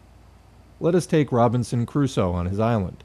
Modest as he naturally is, nevertheless he has various needs to satisfy, and must therefore perform useful labors of various sorts make tools, build furniture, tame llamas, fish, hunt, etc. We do not refer at this time to praying and other such activities, since our Robinson derives enjoyment from them and regards such activity as recreation. Despite the variety of his productive functions, he knows that they are only various forms of activity of one and the same Robinson, and thus are only different modes of human labor necessity itself compels him to divide his time exactly between his various functions. Whether the one takes more space and the other takes less in the totality of his activity depends on the greater or lesser difficulty which must be overcome for the attainment of the intended useful effect. Experience teaches him that much, and our Robinson, who saved watch, diary, ink, and pen from the shipwreck, begins to keep a set of books about himself like a good Englishman. His inventory contains a list of the objects of use which he possesses, of the various operations which are required for their production, and finally of the labor time which particular amounts of these various products cost him on the average. All relationships between Robinson and the things which form his self made wealth are here so simple and transparent that even Mr. Wirth can understand them without particular mental exertion. Footnote there Mr. Wirth was a hack economist of Marx's day. And nevertheless, all essential determinations of value are contained therein. If we now put an organization of free men in Robinson Crusoe's place, who work with common means of production and expend their many individual labor powers consciously as one social labor power, all the determinations of Robinson's labor are repeated, but in a social rather than in an individual way. Nevertheless, an essential difference emerges. All Robinson's products were his exclusively personal product, and were thereby immediate objects of use for him. The total product of the organization is a social product. One part of this product serves again as means of production. It remains social. But another part is used up by the members of the organization as necessities. This part must be divided up among them. The manner of this division will change with the particular manner of the social production organism itself and the comparable historical level of development of the producers. Only for the sake of the parallel with commodity production do we presuppose that each producer's share of necessities of life is determined by his labor time. In such a case, the labor time would play a dual role. Its socially planned distribution controls the correct proportion of the various labor functions to the various needs. On the other hand, the labor time serves at the same time as the measure of the individual share of the producer in the common labor, and thereby also in the part of the common product which can be used up by individuals. The social relationships of men to their labor and their products of labor remained transparently simple in this case, in production as well as in distribution. Whence comes the puzzling character of the labor product as soon as it assumes the form of commodity? If men relate their products to one another as values, insofar as these objects count as merely objectified husks of homogeneous human labor, there lies at the same time in that relationship the reverse, that their various labors only count as homogeneous human labor when under objectified husk. They relate their various labors to one another as human labor by relating their products to one another as values. The personal relationship is concealed by the objectified form. So, just what a value is does not stand written on its forehead. In order to relate their products to one another as commodities, men are compelled to equate their various labors to abstract human labor. They do not know it, but they do it by reducing the material thing to the abstraction, value. This is a primordial and hence unconsciously instinctive operation of their brain, which necessarily grows out of the particular manner of their material production and the relationships into which this production sets them. First, their relationship exists in a practical mode. Second, however, their relationship exists as relationship for them. The way in which it exists for them or is reflected in their brain arises from the very nature of the relationship. Later, they attempt to get behind the mystery of their own social product by the aid of science, for the determination of a thing as value is their product just as much as speech.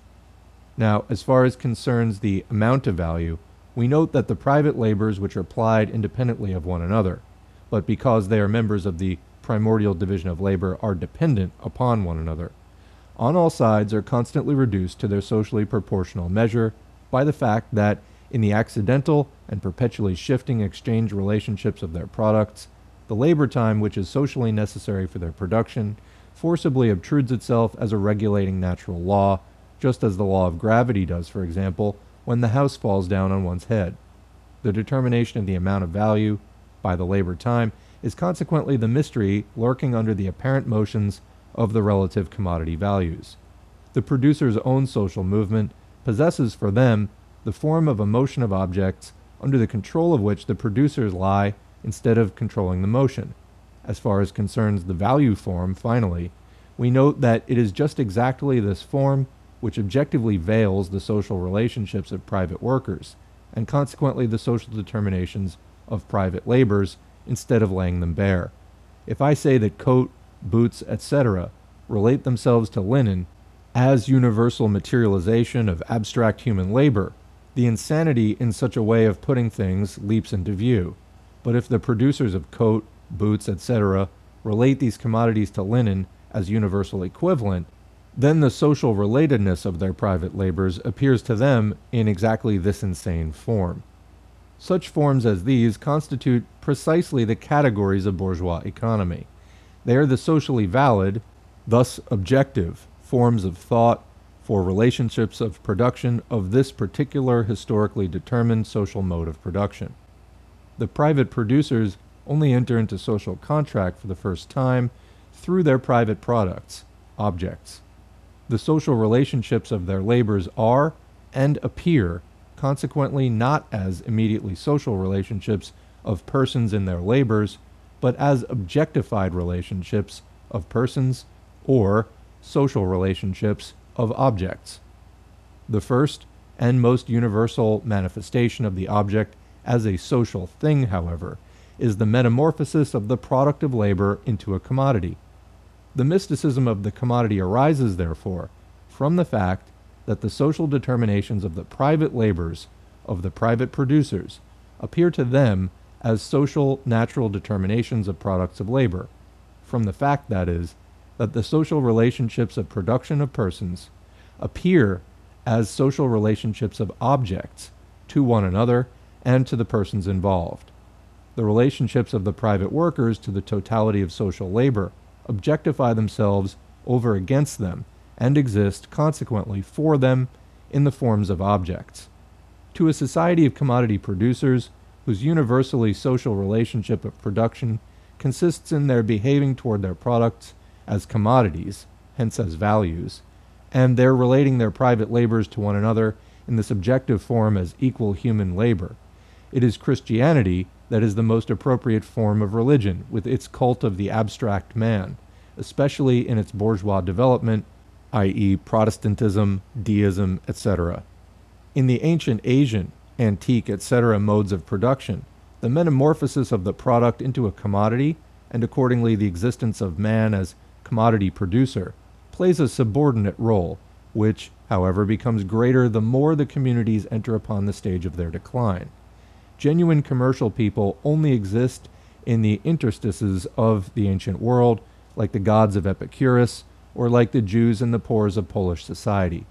Those ancient social organisms of production are extraordinarily much more simple and transparent than the bourgeois organism, but they are based either on the immaturity of the individual man, who has not yet torn himself free of the umbilicus of the natural species connection with other men, or are based upon immediate master and slave relationships.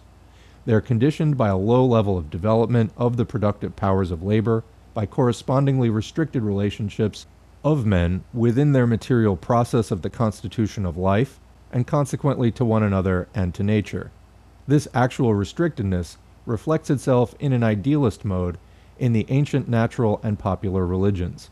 The religious reflection of the real world can only disappear as soon as the relationships of practical workaday life represent for men daily, transparently reasonable relationships to one another and to nature.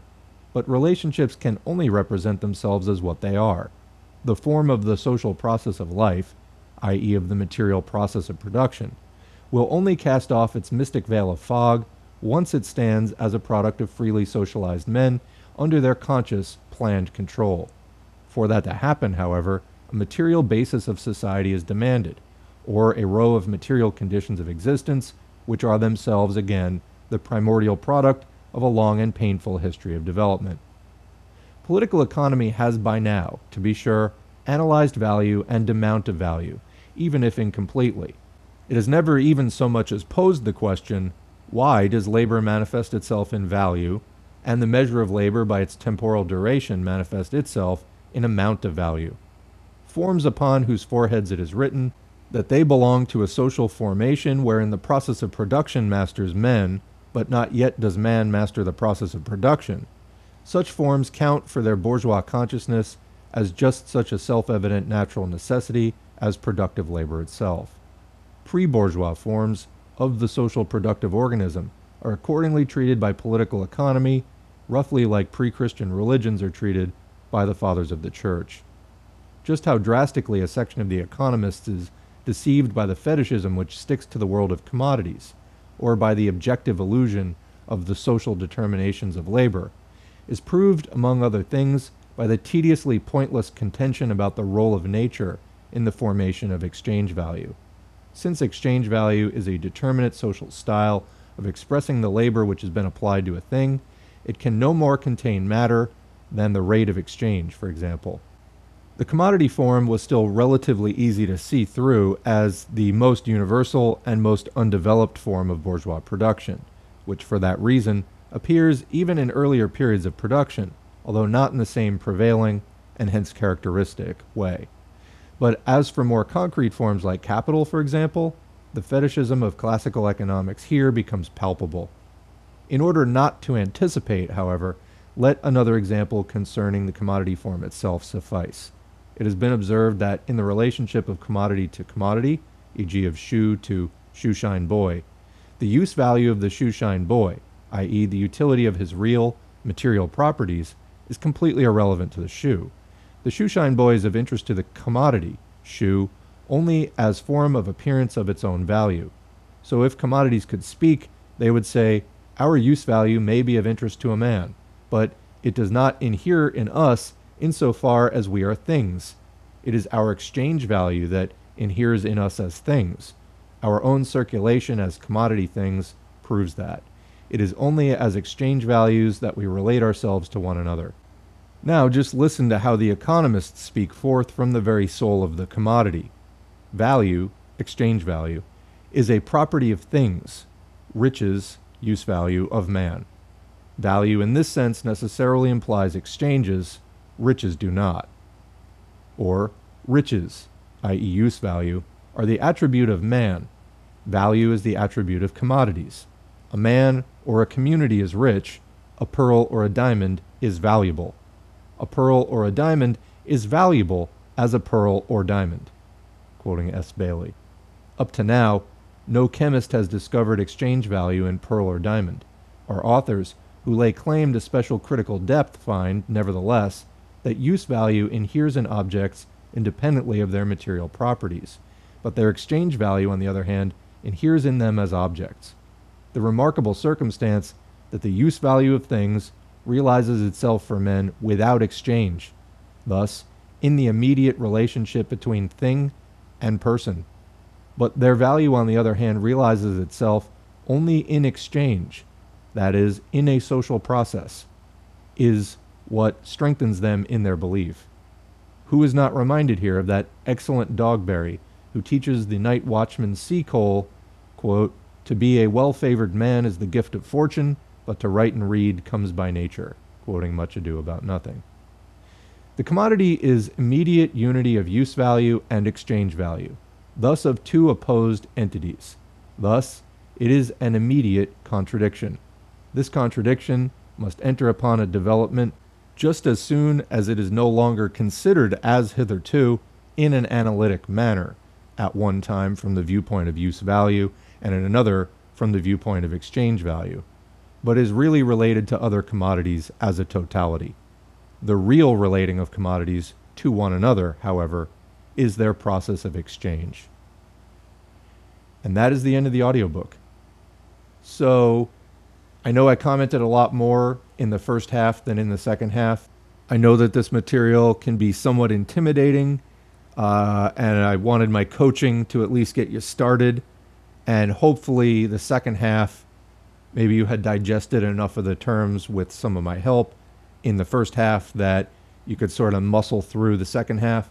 Again, this is not material which generally is incredibly clear in the beginning, particularly as Marx takes this kind of, at times, philosophical approach or seemingly philosophical approach to the material. He's very particular about phrasing some of these relationships in strange or at least unusual ways that we're not used to thinking about commodities and objects and exchange. But part of the idea here is that we should learn to think about them in these new ways. And of course, these concepts are developed in much more depth throughout Marx's later work, particularly Capital. So, again, this is just the first chapter of the German edition of Capital.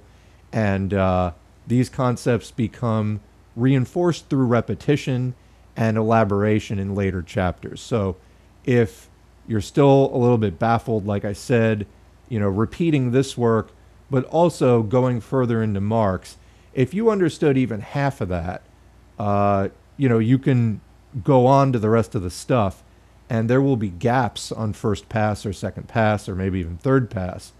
But as you continue to read and struggle through it and say, well, I get this part, but I don't get that part, well, make a note of what you do get and what you didn't get, what's going over your head, or what is just, you know, what the hell is Marx saying in this particular point? And if you can say, well, I got these three paragraphs, you know, pat yourself on the back because you got those three paragraphs. Once you can delineate what you do know and differentiate that from, you know, what you don't know, you're already several steps ahead of where you started from. So that's key in this process of learning this material. It really is a different approach to production and economics, etc. But it's infinitely more valuable than you know basic micro and macroeconomics that they're going to teach you in college or maybe an advanced high school course. It's kind of hard to find Marx. Uh, I mean, Marxism for academic study in a university setting, at least in the bourgeois countries, uh, with the exception of maybe a sociology department you're almost definitely not going to study Marxist economics, even in passing, even in a survey, in probably any econ department. However, they do teach Marx in sociology, at least to some extent. You know, individual programs are going to do more or less. Uh, you know, I did uh, study sociology in college, and we did all this. So I personally came out of college understanding economics from a Marxist perspective. Um, but you know that's again not typical. It's not typical for most people to study sociology at all, let alone to sort of focus on Marx within it. That's not to say that uh, Marx is not recognized in bourgeois sociology. I mean, Marx, Weber, and Durkheim are kind of considered the progenitors and you know forefathers of sociology, although now you know the focus of many sociology programs is definitely not something like that. Anyway, I digress. Um, what I also wanted to mention before moving on is that in these discussions of economics, from Marx's perspective and his particular, you know, spin and interpretation that he put on things, not spin in a sense, but the overall framework that he came up with for understanding these relationships. Uh, it's a little bit deeper than spin. Um, he developed a lot of these theories by studying Adam Smith's The Wealth of Nations, etc., and elaborating on that and criticizing that and taking his previous studies of philosophy and you know coming up with a theory because capitalism nobody sat around during feudalism and theorized capitalism. It just kind of happened. There were scientific developments and it emerged organically. And you know, people like Adam Smith, after the fact, turned around and described what was already happening. Marx was different in that he criticized capitalism and then projected a future system which would be antagonistic to capitalism in the way that he had observed and understood, you know, there to be this dialectical antagonistic relationship between past modes of production, each of which had superseded the last in a historical progression he was theorizing the future. Uh, nobody really did that with capitalism originally, it just sort of happened. But socialism is the first example of a mode of production which was theorized first, and then, you know, people through revolution tried to implement it.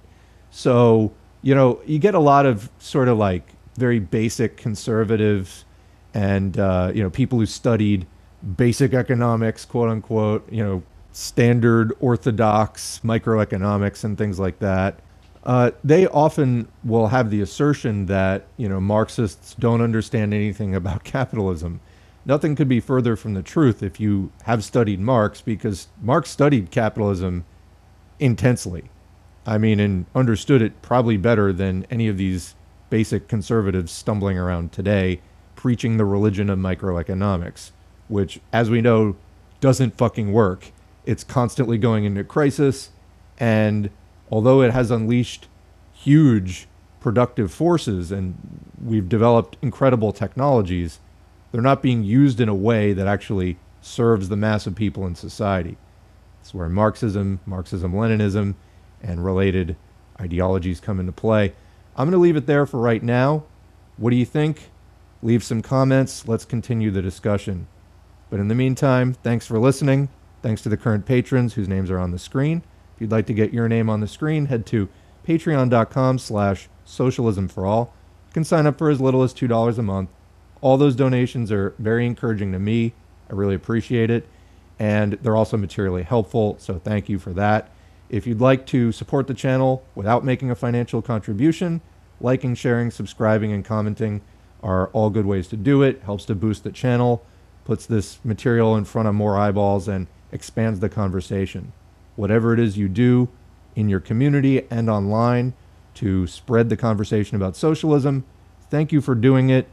Keep it up, and we'll catch you in the next video.